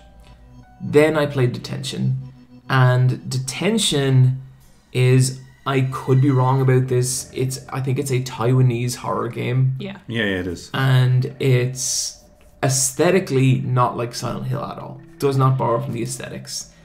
Um, it's got this look to it, and it's a really strange game because I think it looks awesome. Mm-hmm. I didn't think it looked awesome with any footage I saw from the internet. I Yeah. thought it looked bad. Like, like to me, the characters look like diagrams of people. Yes, they like, do. like, like they look like the people that are in that are in manuals. Yeah, and they animate very stiff, and it just it doesn't look great. But I feel like YouTube compression is killing what this game actually looks like because there is a lot of really subtle atmospheric effects. I was gonna say I thought I had a kind of digital painted It look does. to it. It. really does. And like there's, st- they, I think they've done stuff like they've taken like a photograph of a tree, then they've broken it into separate limbs and painted over it, and then animated it with a puppet tool in a really subtle, effective way. cool. Yeah. Yeah. And um, So do, does it look like a Vanillaware game a little bit? no, No, no, okay. not not the same. The same technical skill is not there as a Vanillaware game, but the kind of art direction is, and they're going for a particular very limited style, but they're nailing that style hundred percent. That's good. They're they're using their resources. Yeah, to the Totally, yeah, yeah, the that's a great way of putting it. Um, and what what I was saying about the YouTube stuff is there's a lot of very subtle effects, like the kind of part like dust particles and stuff like that, that you're not going to see on YouTube that actually do help it. And so I really did not like what this game was doing aesthetically when I watched it online. But when I sat down in my dark apartment on, you know, my full TV or even just playing it on Switch and I had my headphones in and the sound design was there, it was great. Really immersive, really cool. But what I have really been digging about it so far, what I think is like really fucking cool and separates it from games like Lone Survivor and Claire, is that it is absolutely the fear. The fear is absolutely generated from a real place. Uh, Taiwan has this weird history with China, where they were kind of at war with China for a long time, very paranoid about getting taken over by China, and so you're this. I don't want to give too much away. You're this person in a school, and the headmaster of the school is an ex-soldier who fought against uh, who fought against mainland China, and he's this like violent authoritarian. And I haven't seen him yet. I don't even know if he's in the game, but his kind of mark is everywhere. Like he had the children terrified. Then one day you wake up at the school, no one's there. It's completely dark, and um, entities start appearing in the school and you try and escape and it's surrounded by a river of blood and it's just really cool and really effective and it's also it also gets points for like doing things in horror that only video games can do there's there's a point quite early on where you have to do something to solve a puzzle, and the moment it clicks in your head, you have to do what you have to do. You're like, what? I don't want to put my hand inside that thing. It's way worse than that. oh no. Yeah, like you got to do something that people shouldn't do. Oh no! Yeah, and like Don't eat that. um, the writing's good, the story's good. I'm really intrigued to see what happens because I can tell this is going somewhere, and it's based on something very real, like this whole conflict and paranoia and like like kind of authority figures being fucked up. Like it's all it, it all kind of comes back to that. But then it's also based a lot of its ghosts and stuff in like taiwanese myth. So you find like you find like a piece of paper that's telling you about this old taiwanese ghost or you know this old taiwanese legend. Um and that's also the tutorial for how you deal with these monsters. That's cool. it's really cool. And it's on switch. Highly recommended to people from what i've played so far What price on Switch? if I remember right, it was like ten to twelve dollars. Okay, that's a really good price. Cool. Cool. Yeah. Yeah, actually, the Switch eShop is having a good sale at the moment. So I think in the next episode, I'm going to be talking a lot about Switch indies. So I, I I really, really like the Switch eShop library. Yeah, it's Switch great. is so good. Switch is so good. Niamh, tell us about a way out. A Way Out is that co-op prison game. Yeah. If I could quote the director, of the game, Go on. fuck the Oscars. Yeah, it's the fuck the Oscars Oh, yeah. guy. And Geoff Keighley Game was like, but that's what we're trying to do. It was so funny. His name's Joseph Fares. they made the game Brothers, didn't they? Tale Yeah. Two Sons. Which I, I love that Yeah, game. I, I think that's Never played it. oh, it's great. I love it. It's really it's done super well. Very hits hard. Oh Yeah, Oh yeah, yeah, yeah. Especially the Don't care. You, for as oh, long as be- I've known beca- you, Niamh, because you've it has the hated Spider that Girl. game. I just hate. Oh, Brothers: A Tale of Two Sons is like probably like the stupidest title I've ever heard. And then the bad guy is like his love interest. That's a spider girl. It's so cliche. Written. Women are evil, Niamh. Niamh, I think if you were an animal, you'd be a Spider Girl. Yeah, totally. I would, Would. not. I'm not Yeah. getting trapped in your web of l- lies. How do we know that's not what's happening? Yeah. She's manipulating me. I used to be like, She's been enchanting us for 72 I, episodes. I used to be like this homophobic, like uh, gun toting, meanie weenie, and- but now I'm like a sensitive soft boy. Thanks to the help of one lesbian. Yeah, One lesbian Spider Woman. yeah. Lesbian Spider Woman makeover. I'd watch that. Let's on find a Netflix. boss is just queer eye for the straight guy. Oh no! Oh my god.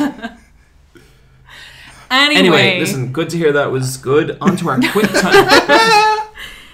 Yeah, it's just getting good.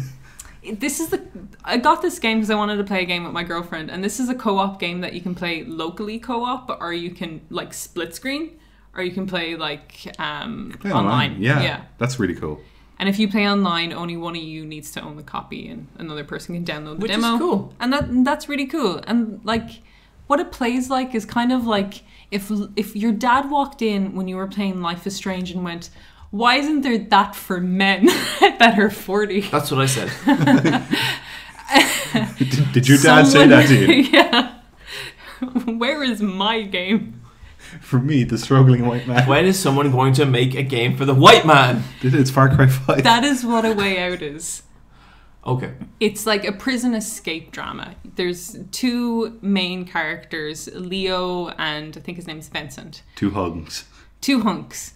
And you start off in what seems to be max security prison. And there's limited gameplay like Life is Strange. So you're just kind of walking this character through prison, prison and you can press triangle on a few NPCs to get some flavor dialogue.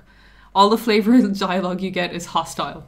Like everyone's just like, "Hey, you starting a fight? Fuck you!" So like you don't like you don't really want to talk that to is people him in talk. um the prison setup is so weird like i don't know a lot about prison but i know that prisoners don't usually have a belt with a belt buckle on all the time No, because that's no. You can't have that. your You- laces are gone Yeah, you wear a jumpsuit. Mm-hmm. no not this game the pr- the like the prison warden they wear a suit and tie it's like they had a model of someone wearing a suit and tie and then put on like kind of a uk bobby hat on top of it so the prison guards are just dressed really weirdly And then any cliche you can imagine involved with a prison breakout, so hiding in a laundry basket. That's part of the gameplay. You Do- have to do, go Do they incite a riot to distract? I'd say I'm not finished it yet, but I'm pretty sure that will happen. So like what I had to do as gameplay is I had to pick up folded laundry and like walk over to a laundry basket and put it in. And then get the laundry basket and then Rebecca who was playing with me would get her character in the laundry basket and I would push it into the next section. And they're handcuffed together. No, they're not No? handcuffed to I thought they were handcuffed together. No. Maybe at some stage, but not currently. Okay. But the gameplay is so minimal. It's literally turning a faucet, like turning and shining some the other player shining a torch on the faucet for you to see to turn it. Uh, there's a bit where you have to go back to back and climb up a, a height, so you have to press things in time together. Just like Emperor's New Groove. Yeah, pretty much. Sweet. Yeah, actually, exactly like Emperor's New Groove. Yeah, it's a good film. Um, How come it's not in that breakdown list? yeah, actually, You guys done that? I just Yeah. did it in my head. who was your winner? Aladdin, but that's just a given. I think Aladdin's acceptable. I- I, think there's a lot of films on that aren't acceptable that I've seen win. What's I- your winner? It would be Aladdin or Lion King. Okay. Yeah, for me, it's either Tangled. Aladdin. Tang- yeah, Tangle's really good. Uh, Tangle's really good, John. okay, No, it's like- fine, like- it's like fine. it- it's fine. It's- Those seed positions are bad. It's not my favorite, but Tangled's good. yeah, um, I, I, I, for me, it's either Aladdin or Toy Story, but Aladdin just beats out Toy Story by a tiny bit. Fair. Um. Anyway, a way Spirited out. Away. That, that was pretty good. Spirited Away is a Disney film, and Yeah, so is Princess totally. Mononoke. It has the badge. A way out is like it's a fun enough co-op game to play with someone. Kingdom Hearts one. That's what wins for me. Sorry, go on. Sorry, sorry. It's just like it's just so cliched. The writing's really bad. I Like think- one of the characters in prisons because he stole a diamond. That's like that Martin Lawrence film, Blue Streak. That's some shit. Like that was the flavor text. Stole a diamond. You're like, okay, cool. It was. Um, Diamonds. I think Alex Navarro was talking about this in the Beastcast. He was saying he gets the impression that this was made by a person who did not grow up in America, but watched a lot of American Yes. movies. He watched Prison Break. It- but it's like the writing techniques and the the rules of prison has come from TV, and not even that much. Like if you watch Orange is the Black, New the New Black, you'd be like, I get the basic kind of, Just watch any Louis Theroux documentary about prison. He's made like ten of them. and they're like not max security ones. This one's meant to be max security, the toughest guys, and they're like passing like screwdrivers through windows at each other. Like it's all so oh. non plausible, but the whole point is a breakout. So if your whole breakout is badly done, So okay, like this is not a good depiction of prison life. Is it fun? sometimes it's kind of fun because it's bad. Okay. But you weren't expecting it to be bad, so you're just going with it. I, I know I was I wasn't expecting it to be great. I bought it because I thought it'd be funny, but it's not even that funny. Thought it would be funny. I think if you can play it like if you've someone if you want to get a bottle of wine and do like this for fifteen euro with your bestie, then yeah, go for How it. How long? How long is it? I haven't finished it yet, but I think it's around four hours. That sounds about the right. same length for price, This. same mm-hmm. price as Kirby, and f- funnier. I don't know. It's it's a hard recommend if you want to see someone who doesn't know anything about prison write a prison breakout story. Then there you go. I know that sounds like it could be a pretty fun time for me and Michelle. yeah, no, I think it's a good couple game. go for it. Okay, good stuff. Let's say we move on into some quick time events.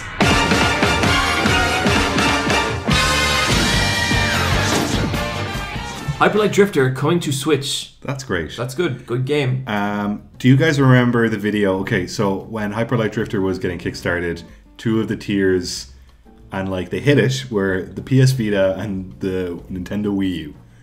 And the game got released on PC first, then it got released on PS4 and Xbox One. And then there was nothing. And people were like, any day now it's gonna be out on the handheld system. I think I was like, I'm gonna wait for Vita. I'd say yeah, because I was like, I bet it'll play real good in the Vita.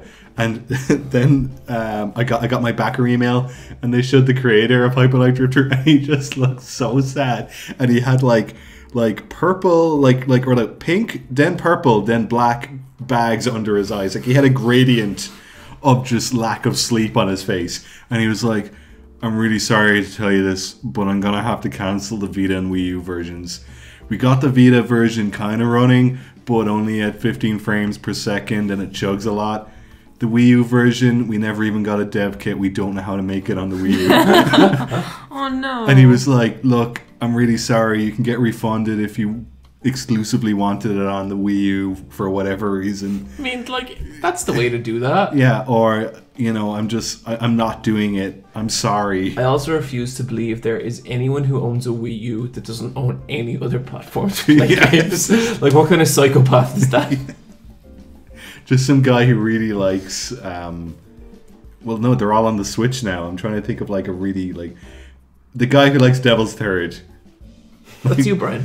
i own that game yeah but i own the switch i don't i, thi- I think that's cool it's coming to the switch i might buy it again for the switch it I, I, I, I I think that game works hand I would out. happily plink away at that game on holidays. yeah I, I, I- I think that would look great as a portable game Man, that game plays like phenomenal. Mm. Yeah. Square Enix opening new studio Luminous Productions. there you go let's let's apply there This is the um, head of the Final Fantasy 15 team and most of the Final Fantasy 15 team. And the goal is to make new new IP AAA titles. And the exact quote is developing new AAA titles and bringing innovative game and other entertainment content to a global audience. We get emails to the contrary every time I say this. Final Fantasy 15 is fucking bad, and it's so bad that I don't play it for months, and then I wake up one morning being like, that game was terrible.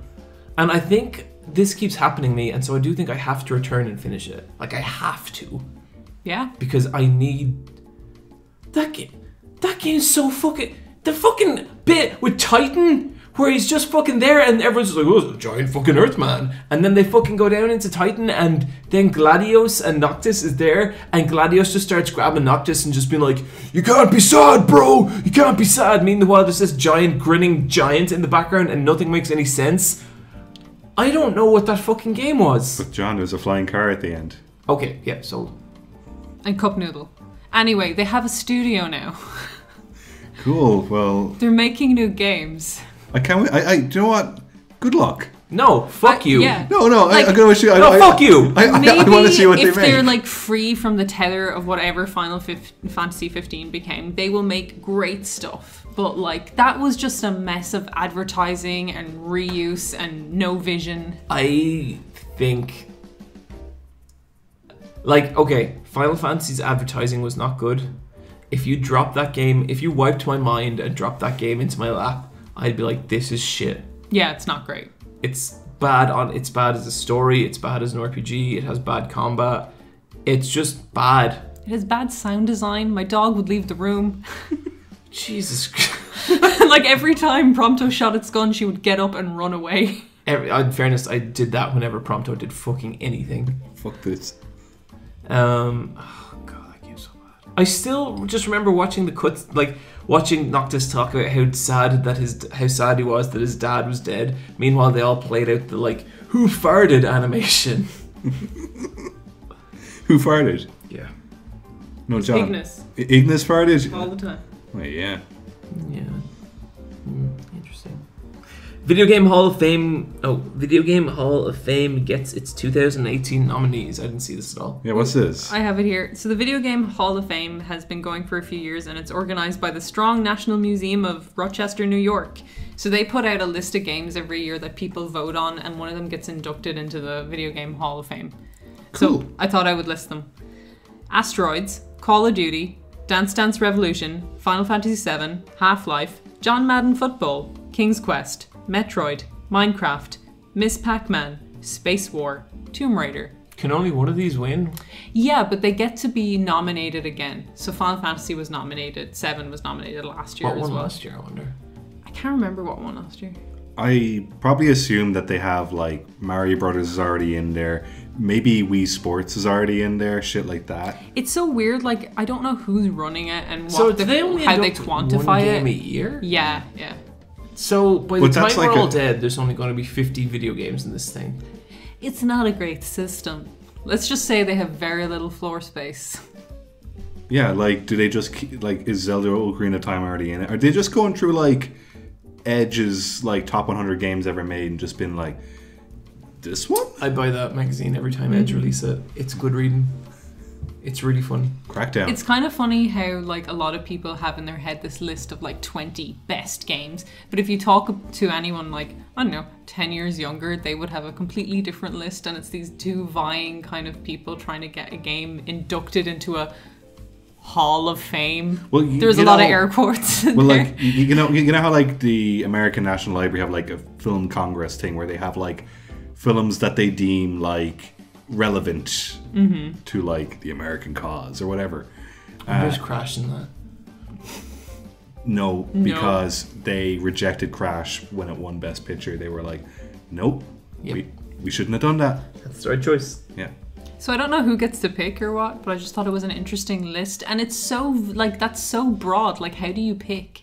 yeah, and like, why does like Metroid beat out Final Fantasy VII, but then Asteroid beats out everything? It's so broad. Like yeah, you're right. Like it's so broad. It kind of it doesn't it's not it doesn't mean anything. Yeah, that's Just like well, what do you well, well what do the people on the commission like? Because that's all it kind of is then. yeah. So I guess like to the strong National Museum play in Rochester, New York, your system's bad. Yeah, uh, I have no doubt you listen to this podcast. Um, You do, they do. yeah, for sure, and uh, that needs some work. But if you need uh, some gaming experts, some hardcore capital G gamers, your friends at the Let's Fight a Boss cast can help you out. Yeah, We have very strong opinions on Bloodborne. we do. And we thought Mario Odyssey was kind of dumb. hmm We have our own Hall of Fame anyway. Yeah, the Let's Fight a Boss hard work, Hall of Hard Work and Success, the only one that matters. I don't know what's in there anymore. Grow homes in there. Grow Homes in there. Uh, Fire Emblem's in there. Nier Automata got in. Yeah. I'm pretty sure. I, if Bloodborne's not in there, I guess it is No, now. Bloodborne should go in Yeah, there. I think yeah. Bloodborne kicked the doors open and went in. Okay, because Niamh had never played Bloodborne, so we couldn't put it in. Oh yeah, because it's a game all three of us have had to play. Yeah, but now And she's like, played yeah. it. Yeah, and I think one of us has to beat it. yeah. I would like to induct Bloodborne into the Let's Fight a Boss Hall of Hard Work and Success. We have an we have another hall for bad games, and I can't remember what that was called. I called. don't think it was a hall. I think it was a box. it was a box. I thought it was the bag of shit. Yeah, I think it might have been a hole. Yeah. the, the whole disappointment. Anyway, no one can see what's down there. But It's just Final Fantasy 15 and whenever and Luminous- Firewatch. Yeah, Firewatch. oh yeah, oh yeah, oh yeah. That was that made me the happiest when I saw our subreddit and like one of the things was just like four people or one of the rules was just like do not talk about Firewatch. Okay, so I, I- I guess it was two years ago now when Firewatch came out, and I don't know who listened back then, but who's listening now. If someone is still listening from back then, God bless you. yeah, but yeah. Uh, by the way, we don't like Firewatch, and we don't want to. We don't want to talk about. Oh about no, guys, we can't do this. No, we can't, that's we not can't very mention good. Firewatch. We can't mention You The Last guys of Us. might- We can't mention. You guys should maybe play the way out. A way out. It's kind of bad enough to be a Firewatch. Yeah, it, re- it really, really reminded me of Firewatch when you were describing it, where it Okay, was like thing. That I, I think I thought that that's a- what the way it would be. I thought the fire. I, f- I thought Firewatch was going to be good. yeah, fair. yeah. Dragon Quest XI comes to PS4 and Steam in September. That's awesome. Cyberpunk 2077. Wait, back to back to Dragon Quest. I'm Really excited for Dragon Quest. Me too. There's no news on the. Uh, wait, there is news. There's no 3DS version, so that's not getting a port. It's just to PlayStation and Steam. Originally, they had said that it was for the NX because this is before the Switch was announced, but they haven't said anything about that right now. This sounds like a really good localization. So English voice, English voice acting, of course. Um, camera mode, which is so good in anything, and in an RPG, I'm super excited to have it in an RPG. Hey, I, I, I like camera mode now.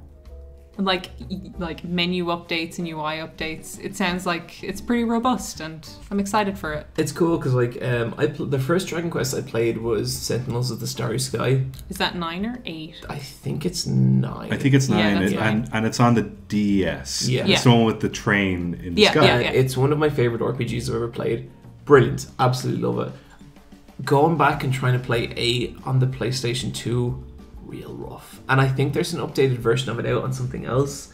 But like, you hit attack, five seconds later your character attacks. Like that's like it just stalls for a little bit and then your character attacks. And I'm sure if you played that game in the PlayStation 2 era, you didn't know.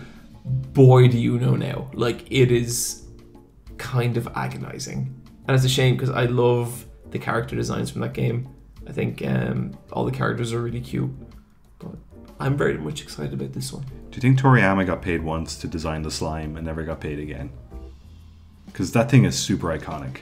No, his his designs are like all over those games. Yeah. Like there's a big crossover between a lot of the weirdos that appear in early Dragon Ball and the Dragon Quest monsters. Do you think he still designs them? Or do you think it's done by like. I was reading an interview with him recently where he was talking about how like someone uh, like you know I've talked Yeah, to like he's probably got a copycat team. you know the way he's so apathetic about everything. Someone was like, "How do you feel about your, you know, the working on the Dragon Quest games?" And he's like, "Well, I didn't know what video games were when I started, and if I'd known it was so much work, I wouldn't have done it." That's so funny.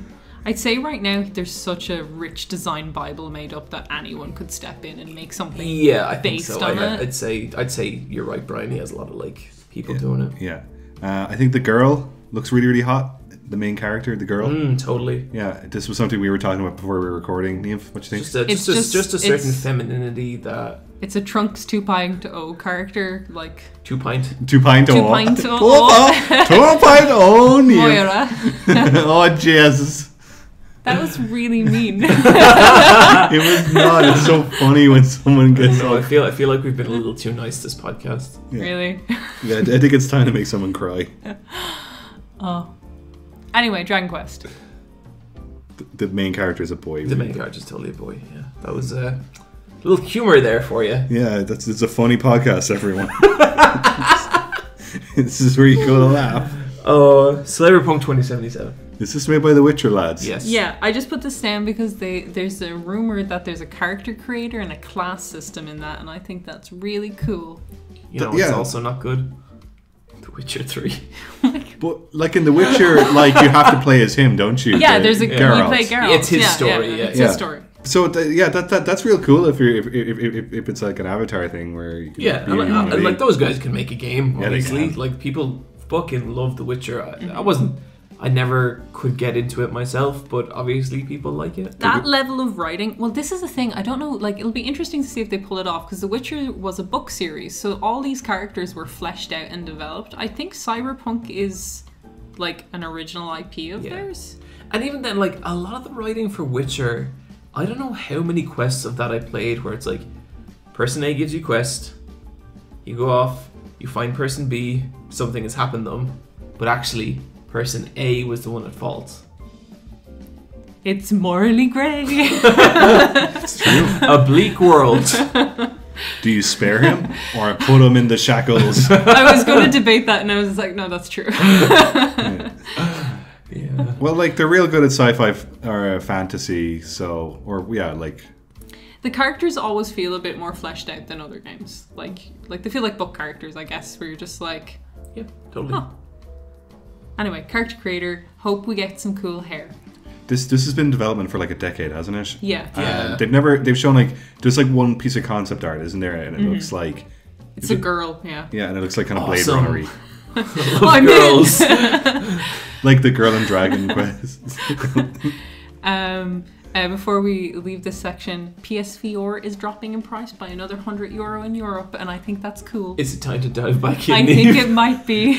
Time to buy back up. I up. really miss VR. It's so fucking cool, guys. Um, I listened to tried it the- once over was Christmas and I didn't the- like it. I was listening to the most recent Dad and Sons podcast, and they really went. They they made a very compelling argument for why VR is actually cool. it's like it feels like you know those first few games you ever play in your life, and you're like, "Wow, I can't believe this is happening." It feels like that. It has that sense of wonder, even if it's like not the most amazing shit is actually happening. They were saying that like weird things was happening them with like because they were seeing everything in scale. It was like a lot more easy to be empathetic and like I've heard I've heard this same story a bunch of times how like someone you know is like doing Google Street View and they decide to fly off into space, then they see the Earth in scale and it's just like, whoa, humanity. We are just Which which is something that happens to astronauts. So There is something to be said to being kind of in there in the moment. Like whether it's like kind of janky or not, that's another thing, but it is cool. Yeah. Yeah, totally. Let's we move on to some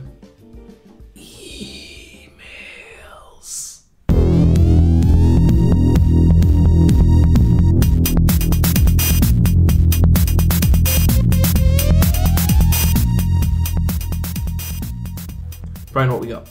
Okay, uh, this first one is from Trash Bastard. Uh, is there a piece of art or media that you feel you discovered at the perfect time in your life? Uh, he cites FLCL uh, because he was the same age as now. What I would not give to watch FLCL as a teenager. Yeah, because cause, cause he's like 11, 12 years old in that. And that's like, th- yeah, fuck yeah. Yeah, yeah. Some things only work nearly in that context. Like I've always gone and tried to watch FLCL, I kind of feel the same. can't connect to it at all. Like, like I, I get it. I understand why someone would.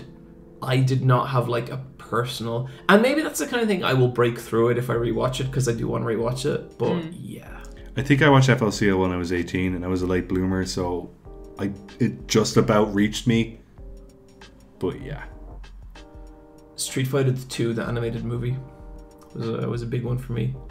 Um, it kind of came at this time when I was like really figuring out that I loved like anime, and so I was always like I always liked Street Fighter, but then when I discovered the Street Fighter Alpha games, which are all like some of the most beautiful fucking art, like, and I was like, oh my god, so Street Fighter is like anime, and then I found out there was a movie, and then the Chun Li shower scene is pretty cool. Like for a fucking like eleven year old boy, shit was mind blowing. You think my parents knew that was in there? No fucking way.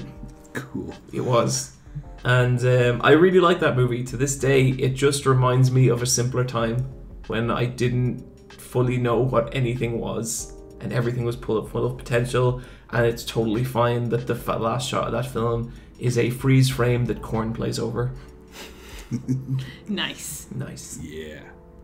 Um, to go back to Kirby, I was nine years old when I found out what Kirby was, and that that was perfect timing. I think when you're nine, just before you hit ten, which is like a big step in your life, I feel, with double digits. I think it's kind of like the last year you feel like 100% as a kid. Because I think when you're 10, like you've got like aunts and uncles going, "Oh, you're going to be a teenager soon." But I, I think I still think you're a kid when you're nine. Yeah, you, It's- you start to figure out figure shit out at ten. Yeah, and so I I, I, I, I can see what the uh, I can see what Trash Bastard here is going for with FLCL by turning 11, 12. But I just think like Kirby and that innocence at that time was just what I needed as like a final goodbye to being like a completely you know blissfully unaware kid. Totally. Um, mine was like always be Baz Luhrmann's Romeo and Juliet. Uh, I had a sleepover with a fellow girlfriends, and no. we were really in love with Leonardo DiCaprio from in, from Titanic. Yeah, we.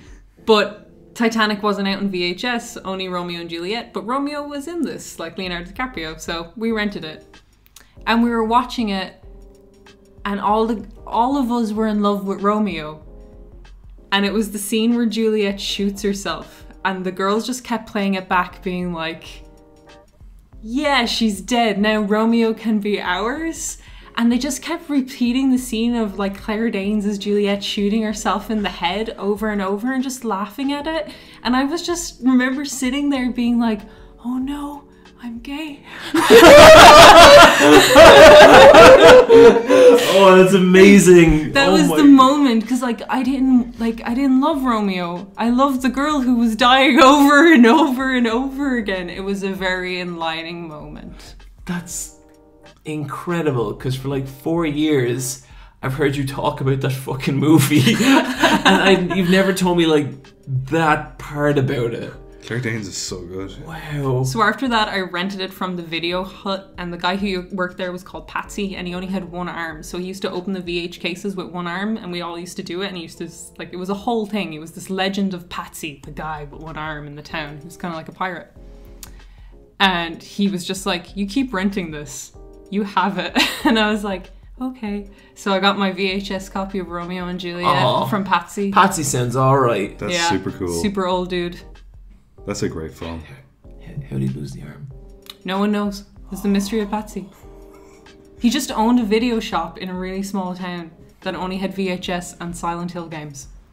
Maybe he got his arm. Pat- Patsy sounds like he knew it was fucking up. Yeah, Patsy was cool. It'd be cool if he got his arm trapped in like video, like like an actual.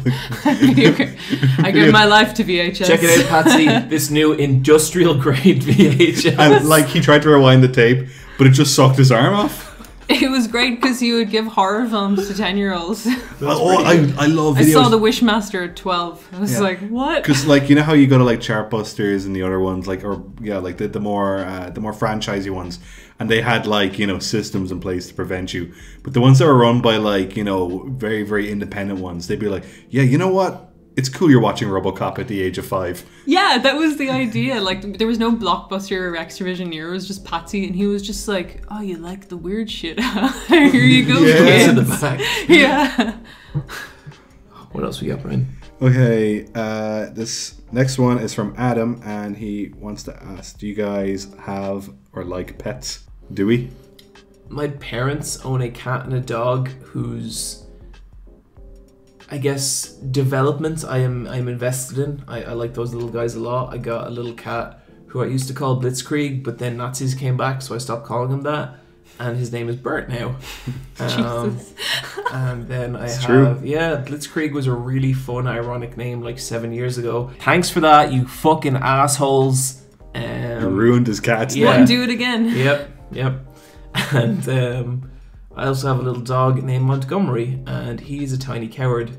he's so small He's really small. I think he's an adult dog when he's still a puppy. Yeah, he's like he's like you know when you're like I can't wait to see what he looks like when he's grown up. He's like four now, and he's just he's just a tiny puppy. Niamh, Um, you don't like animals. really don't like them. no, I, I love animals. I have uh, two dogs. I have Piper, who is my um, Best lurcher. friend? cr- yeah, my best friend. My lurcher cross. She's a whippet crossed with probably a Saluki, and She's very skinny. yeah, yeah, yeah. She looks hilarious. She, it's like a peanut attached to pipe cleaners. Yeah, she's so cold. She's super cute. She's so cold. Her fur is so light and stuff. You got to put her in a hoodie at Christmas, and you're like, Piper, you want to get into your jumpy? She fucking loves it. she really does want to get into it. My my dog Tiggy used to be like that. She was just super into wearing clothes. Like you'd bring out a little. I, I used to dress her as a little samurai chef, a little sushi chef, and sh I'd bring it out, and she'd her ears go down, and she'd wag, and she'd be like, "Yeah, yeah, put it on." yeah. And then the other dog? Uh, and Dash is um, a Shiba Inu who's like three years old and just a bold little dude. Yeah, just just a bad batch of bread. I like I like Dash. I feel like we have a kind of we get it. Yeah, He's the type of dog who makes eye contact with strangers, and some dude actually tried to fight him once. He was like, "What the fuck are you looking at?" Wow, yeah. looking at a cool dog. That's what you're looking at. Jesus. Yeah, and then like family pets, anything? Uh, we've always have dogs. I had rats in college. We had like Your your your, your uh, mom has a cat now, doesn't my she? mom has a cat called Millie. There was like birds. There was a duck. There's a chicken. There was a donkey called Muffin. There was a cow called Jackie. So Bryan, Yeah. Let's take our next email. No, I want to talk about. Bryan, do you have any pets? I have a pet hedgehog called How long? How long have you had a pet hedgehog? Three days. What is his name? Biscuit. He's an African pygmy hedgehog, and he's really really cool. He's only eight weeks old, and he's tough as fuck. Um, he is the size of a tennis ball, and he'll let you know. And he sleeps 20 hours a day because he's got to grow up and fight me someday. And he poops 18. Yeah, I met the young man. Very determined little character. yeah. Uh, I have I'm, I, at the moment I'm toilet training him because I know at a young age you can sort of like you can't completely toilet train them, but you can tell them like, look, I'm gonna put your poos over here, so maybe do the rest of them over there. And do you know what? He's making the best attempt possible. He peed on three quarters of the of, of the of the toilet area, and I, I I- I chalk that off as a huge success. It is, yeah. Yeah, and they're really interesting because like there's there's uh, people at work who ha- who keep them as pets as well. And growing up, I've only ever had cats. They're kind of like cats, but not really. I don't know. They're, they're just a really strange animal. Are they just like a spiky guinea pig? Kind of, yeah. Well, I, I felt like from the little bit I met of Biscuit, he had maybe a little more personality than I am used to guinea pigs having. Yeah, yeah, yeah, uh, yeah. I, And I, I I, think I so. think that will only develop as he gets older. Yeah, but we got him because we're at work most of the time, and we don't have time for something like a guinea pig. And I love guinea pigs; they're my favorite animal in the whole world. Hedgehogs are my second favorite animal in the world, which is a very strange. Oh, decision. don't tell him that. Yeah, that'll Oh, I'm, I'm fucking telling him that I'm telling him he's my little silver trophy. Um, but guinea pigs are very social and very, very dependent, and they're awake during the day and we're at work during the day. Whereas this guy's nocturnal and loves to be left alone, so it suits us just fine. Doesn't make any noise, just part of the furniture. That's real love right there when Well, you describe it as being. But then, like our family cats were always described as like cushions we fed. That's they just sat on the couch. Like sometimes you weren't sure if you were sitting on a cushion or a cat. Dogs are so needy. They really make their presence known. Yeah, I don't think I'd be able to mind a dog. I just, I, I, I'd be, I'd get stressed out and I'd start crying. I, I think, I think any, any, anybody who owns a dog is kicking ass. Yeah, your life, your life becomes part. The dog, the dog is your life. Yeah, yeah, absolutely. Okay, then we have one last email uh, from Johan, and this is aimed at you, Niamh. So do you want to take it away? Because I don't know how to say this. It's a Japanese word. So Johan was on my Twitter. Stop creeping. Don't stop creeping. Never stop creeping. No, please stalk Niamh's Twitter. Um, and he saw that I had gotten my hands on some Takarazuka DVDs. And what John was saying about wrestling, about like finding something that. No, Niamh, this is about who I am. No, this is about who I am. No, you don't understand. Like, okay, like finding something that is just perfectly for you, that has existed kind of in the background of everything you've loved before. But you you didn't for some reason you kind of vaguely knew about it but didn't approach it. Maybe you knew because you'd love it too much, you know? Like once I went in, there was no coming out. There's going to be a post like Takarazuka Niamh and a pre Takarazuka Niamh. It was like that. You know? It's like I, I I know it exists now. So New Japan for me was a hundred times that, but go on. But now you're awake. fucking thousand times that. So like the biggest criticism I have from literally everything in existence, like even this moment, is that it would be better with more women. But it's all women. and Takarazuka So hard for me. is all women all the time. Okay, so this is this, this this is a Japanese all-female acting group, It's musical theater. musical theater. It's all women, all Jap- like Japanese musical theater, and they do Shakespeare, Hamlet, Romeo and Juliet. They do anime. They do they did Lupin the Third. They do video games. They uh, did, did uh, Phoenix Wright. They did Phoenix Wright. Um, and they just put on musical versions of these. It is impossible to buy.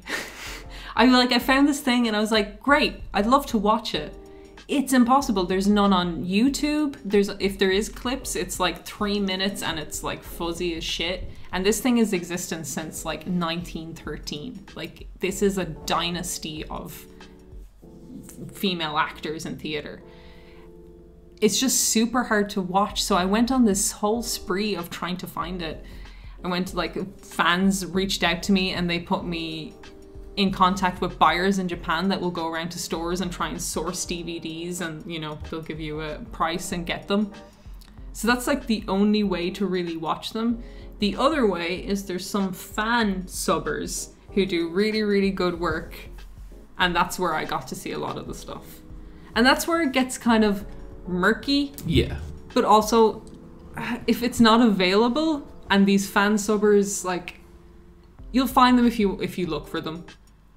Um go to the wiki is what I'll say. But these fan subbers, the way they do things is they don't take money, they don't take tips. I wanted to tip them because I thought it was a cool service. But they take performances of Takarazuka that have aired on broadcast Japanese TV and they subtitle them. So it's not new ones that are available on DVD or Blu-ray, so they don't feel like they're eating into any kind of revenue. It's kind of older performances that would have been broadcasted. Niamh, what's your favorite Takarazuka so far?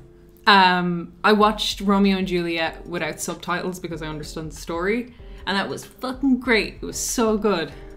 See, I watched Ibushi versus Nakamura without subtitles, and that's how I felt. I was like, Is I didn't need it. You could just Yeah, like, you just know. Yeah, you it's just, know. Mm-hmm. a performance. Do, do they do Romeo and Juliet in Japanese? Yeah, it's Japanese. There's singing. There's dancing. Tybalt gets way more screen time, which he's always needed. Um, it's just like they like they. It's it's always romantic and it's always high drama, and like people are like. You kind of wonder why someone would be into Shakespeare because you're like Shakespeare, it's boring. I learned it in school. Shakespeare is just like soap opera. It's just Game of Thrones. It's just early TV. It's melodrama and that's why it kind of stands the test of time. So this is like Shakespeare being sung by a cast of beautiful Japanese women, and I'm just like, yeah, and they're playing the male roles, they're playing the female roles. It's just cool. There's dancing, there's singing, there's costumes, there's set design. It's like perfect cape movements. You were saying this goes back to like the 19, 1913? Yeah. How did it start, I wonder? It's it was like set up by I don't really Was it because women weren't allowed on stage? Uh, maybe it's like set up by like men set it up and run the company. Huh. As like, but they had it was a novelty act with women I or think some it was shit? just like it, like there was women actors who wanted to do it, and it was set up out of that. But it was kind of these men had the power to. I guess like to if do you were a serious woman actor in 1913, your your option for roles was probably limited. yeah, yeah. So this was kind of like it's kind of you live there. Like there's it's broken into troops, like four troops, like Moon, Flower, Cosmos, and stuff like that. And there's Oh, the about Cosmos. There's about 70 women in each group, and they like you start there really long and you live throughout it, and you go up from kind of background roles to like foreground roles. Like you kind of work for, um, your way up throughout it, and you can kind of retire out of it, or you can stay up until it's, some of actresses are 80 years old and stuff. Jesus. So it's just this entire dynasty you're watching, and you're watching people's careers from like 18 till they're 40 or something. You know what I mean? True musicals. And it's just, it's really impressive. For some reason, I didn't know it existed. I'm glad it does. If you want to know how to watch it, the best advice I can give you is to go to the Takarazuka Wikipedia. There's a lot of information on how you can do it legally or not so legally if that's what you want to do. You will be probably buying DVDs through buyers online, which I did and it worked and it was cool. It sucks that it's limited, but it does sound a little bit like, I guess, back in the heyday when like things were very difficult to find. It always felt really good when you found something. Yeah. Is there an element of that at all, or is it just frustrating? There is. It's kind of cool that you're like, whoa, it's this thing that people know about, but it's super hard to get into. And you have to like search it out. and you have to search it out. But the flip side of that is because of that, the fandom can be really intense. And I actually got a few messages some from weirdos in the fandom telling me I wasn't engaging in it the proper way. That's that's when you know you're really in the shit. Yeah, so I was just like, I'm gonna block you. I don't think I've ever gotten a message telling some someone telling me like you're engaging with this piece of media the wrong way, and me being like, oh, uh, like after the fucking Dragon Ball video, the amount of people messaging me just being like, dude, you need to give the sub with the original Japanese music a shot, and it's like, dude, I experienced this shit as a teenager. I loved it more than anything, and I'm not even going to rewatch that version. I don't give a shit about your version. Mm-hmm. Yeah, it's kind of like that. if you're one of those people oh. who message me, I'm sorry, but I mean, fucking come on, like, Yeah, come on, cop you on. shouldn't need people to experience media the way you experience it. That's kind of how I feel about Takarazuka. There were some people in the fandom who were really helpful and really lovely. There's other people, and it's like, you know how hard it is to get into this. It's like, stop chasing people off with weird rules. Mm-hmm. I guess they're just Yeah. being But elitist. so pedantic. Yeah, it's really like gatekeeping. It's like, Yeah. hey, you can't like it unless you do this, this, and this thing. And I'm like, no. Fuck you, buddy. Yeah, fuck off. Yeah, I can like this thing, yeah. and that means we're equal. There was you. one guy who messaged me, and it was just like, "Oh, you like the Bruce Faulconer music? Cringe!" And it's like, dude, I'm a I'm a fucking thirty year old man who listens to Linkin Park. You cannot make me cringe over my fucking musical choices. Are you gonna put Linkin Park in one of your videos? I'm gonna put it at the end of this. Fuck. Nice. Yeah, yeah. Let's do mm-hmm, this. Mm-hmm. So yeah, I'm I'm super glad you have discovered that, Niamh. It's it's great to be. It's always fun when like you just find this thing where it's like, yeah, I fucking love this without condition, and it's just nice that that can still be a thing. Yeah. Um, one thing I did want to address, we've actually gotten a few emails in the last little while about, I guess, just about like people asking for advice, particularly like trans people coming out and stuff. And we've all kind of talked it over separately. And what I'm gonna do is I'm gonna leave. I, uh, I have a friend of mine who's trans, and I asked them for some resources and I'm gonna leave those as links in the description. I don't particularly feel comfortable giving personal advice, especially like people coming out to their family and stuff, just because I haven't lived it. I don't know what's involved, and it sounds like a very serious thing, and not something I think I or I guess any of us really feel too Yeah. qualified to talk about. We about. could talk about the teenager aspect of it, but that's about it. Yeah, like the only thing I'd say is like make sure you're safe. You know, Yeah. um, you will like especially if you're a young teenager, you will definitely be at a point in your life where you can be who you want to be, and I'm sure that will be awesome. But like you know, if you're grown up and if you know maybe you know your family don't share the same values as you, just make sure you're safe. Make sure you always have a roof over your head, no matter what, and uh, things will definitely get better. Um, those links will be in the description. Yeah. Cool. That's emails, which means normally we'd be moving on into our loot drop, but we actually got one extra little bit this time, and that is that the Let's Fight a Boss is starting little Patreon. The main reason we're doing this is like we've gotten a lot of requests. We get a lot of messages, people like asking when when are we going to do a Patreon? When are we going to do a Patreon? And I could have taken it or leave it for the longest time because, as everyone knows, I already have one. But like Bryan and Niamh do a ton of good work on this, and people seem to want to support it. And I don't think we give a shit how much we get or anything. But it just seems like okay, if people want us to do it, we'll set one up. We have established a few little. Oh, it's three books a month. That's that's pretty much it. Yeah, and the money goes back into the podcast. Yeah, we'd be using it just like we'd like a proper podcast setup because we're all still recording over the one mic in our apartments. But um, And I, I, I know- I know sometimes that's a, a minor complaint from people that it'd be cool if we each had a mic. yeah, So Yeah. that I would like so that. It, it would be cool to have that as our, our goal. I guess I, I'd be I'd be super happy if we could upgrade. Yeah. And so um, there's going to be a few little rewards, and I'll let people check out the Patreon if you want. But the main, the main one to know is you're going to get access to the Let's Fight a Boss black tapes, and what this is is a collection of episodes from the Dark Ages, from the early days of Let's Fight a Boss.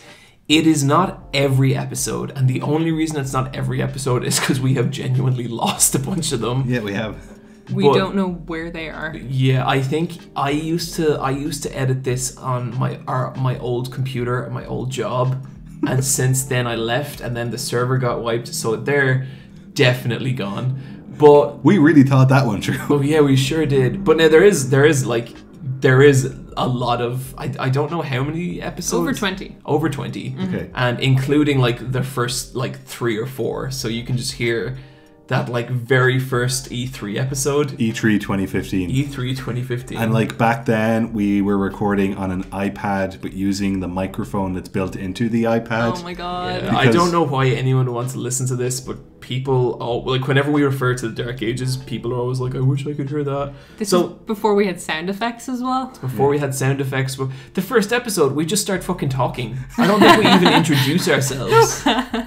The first episode isn't even called "Let's Fight a Boss." It's just three people talking at a mic. Yeah, we didn't come up with the name until afterwards. Yeah, and then after that podcast, I was like, "What do you guys think about the Let's Fight a Boss cast?"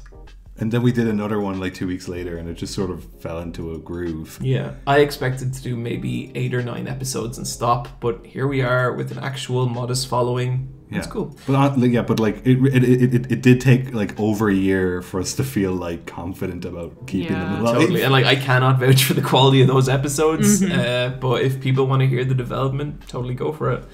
Um, the other thing you get is access to the Let's Fight a Boss Discord.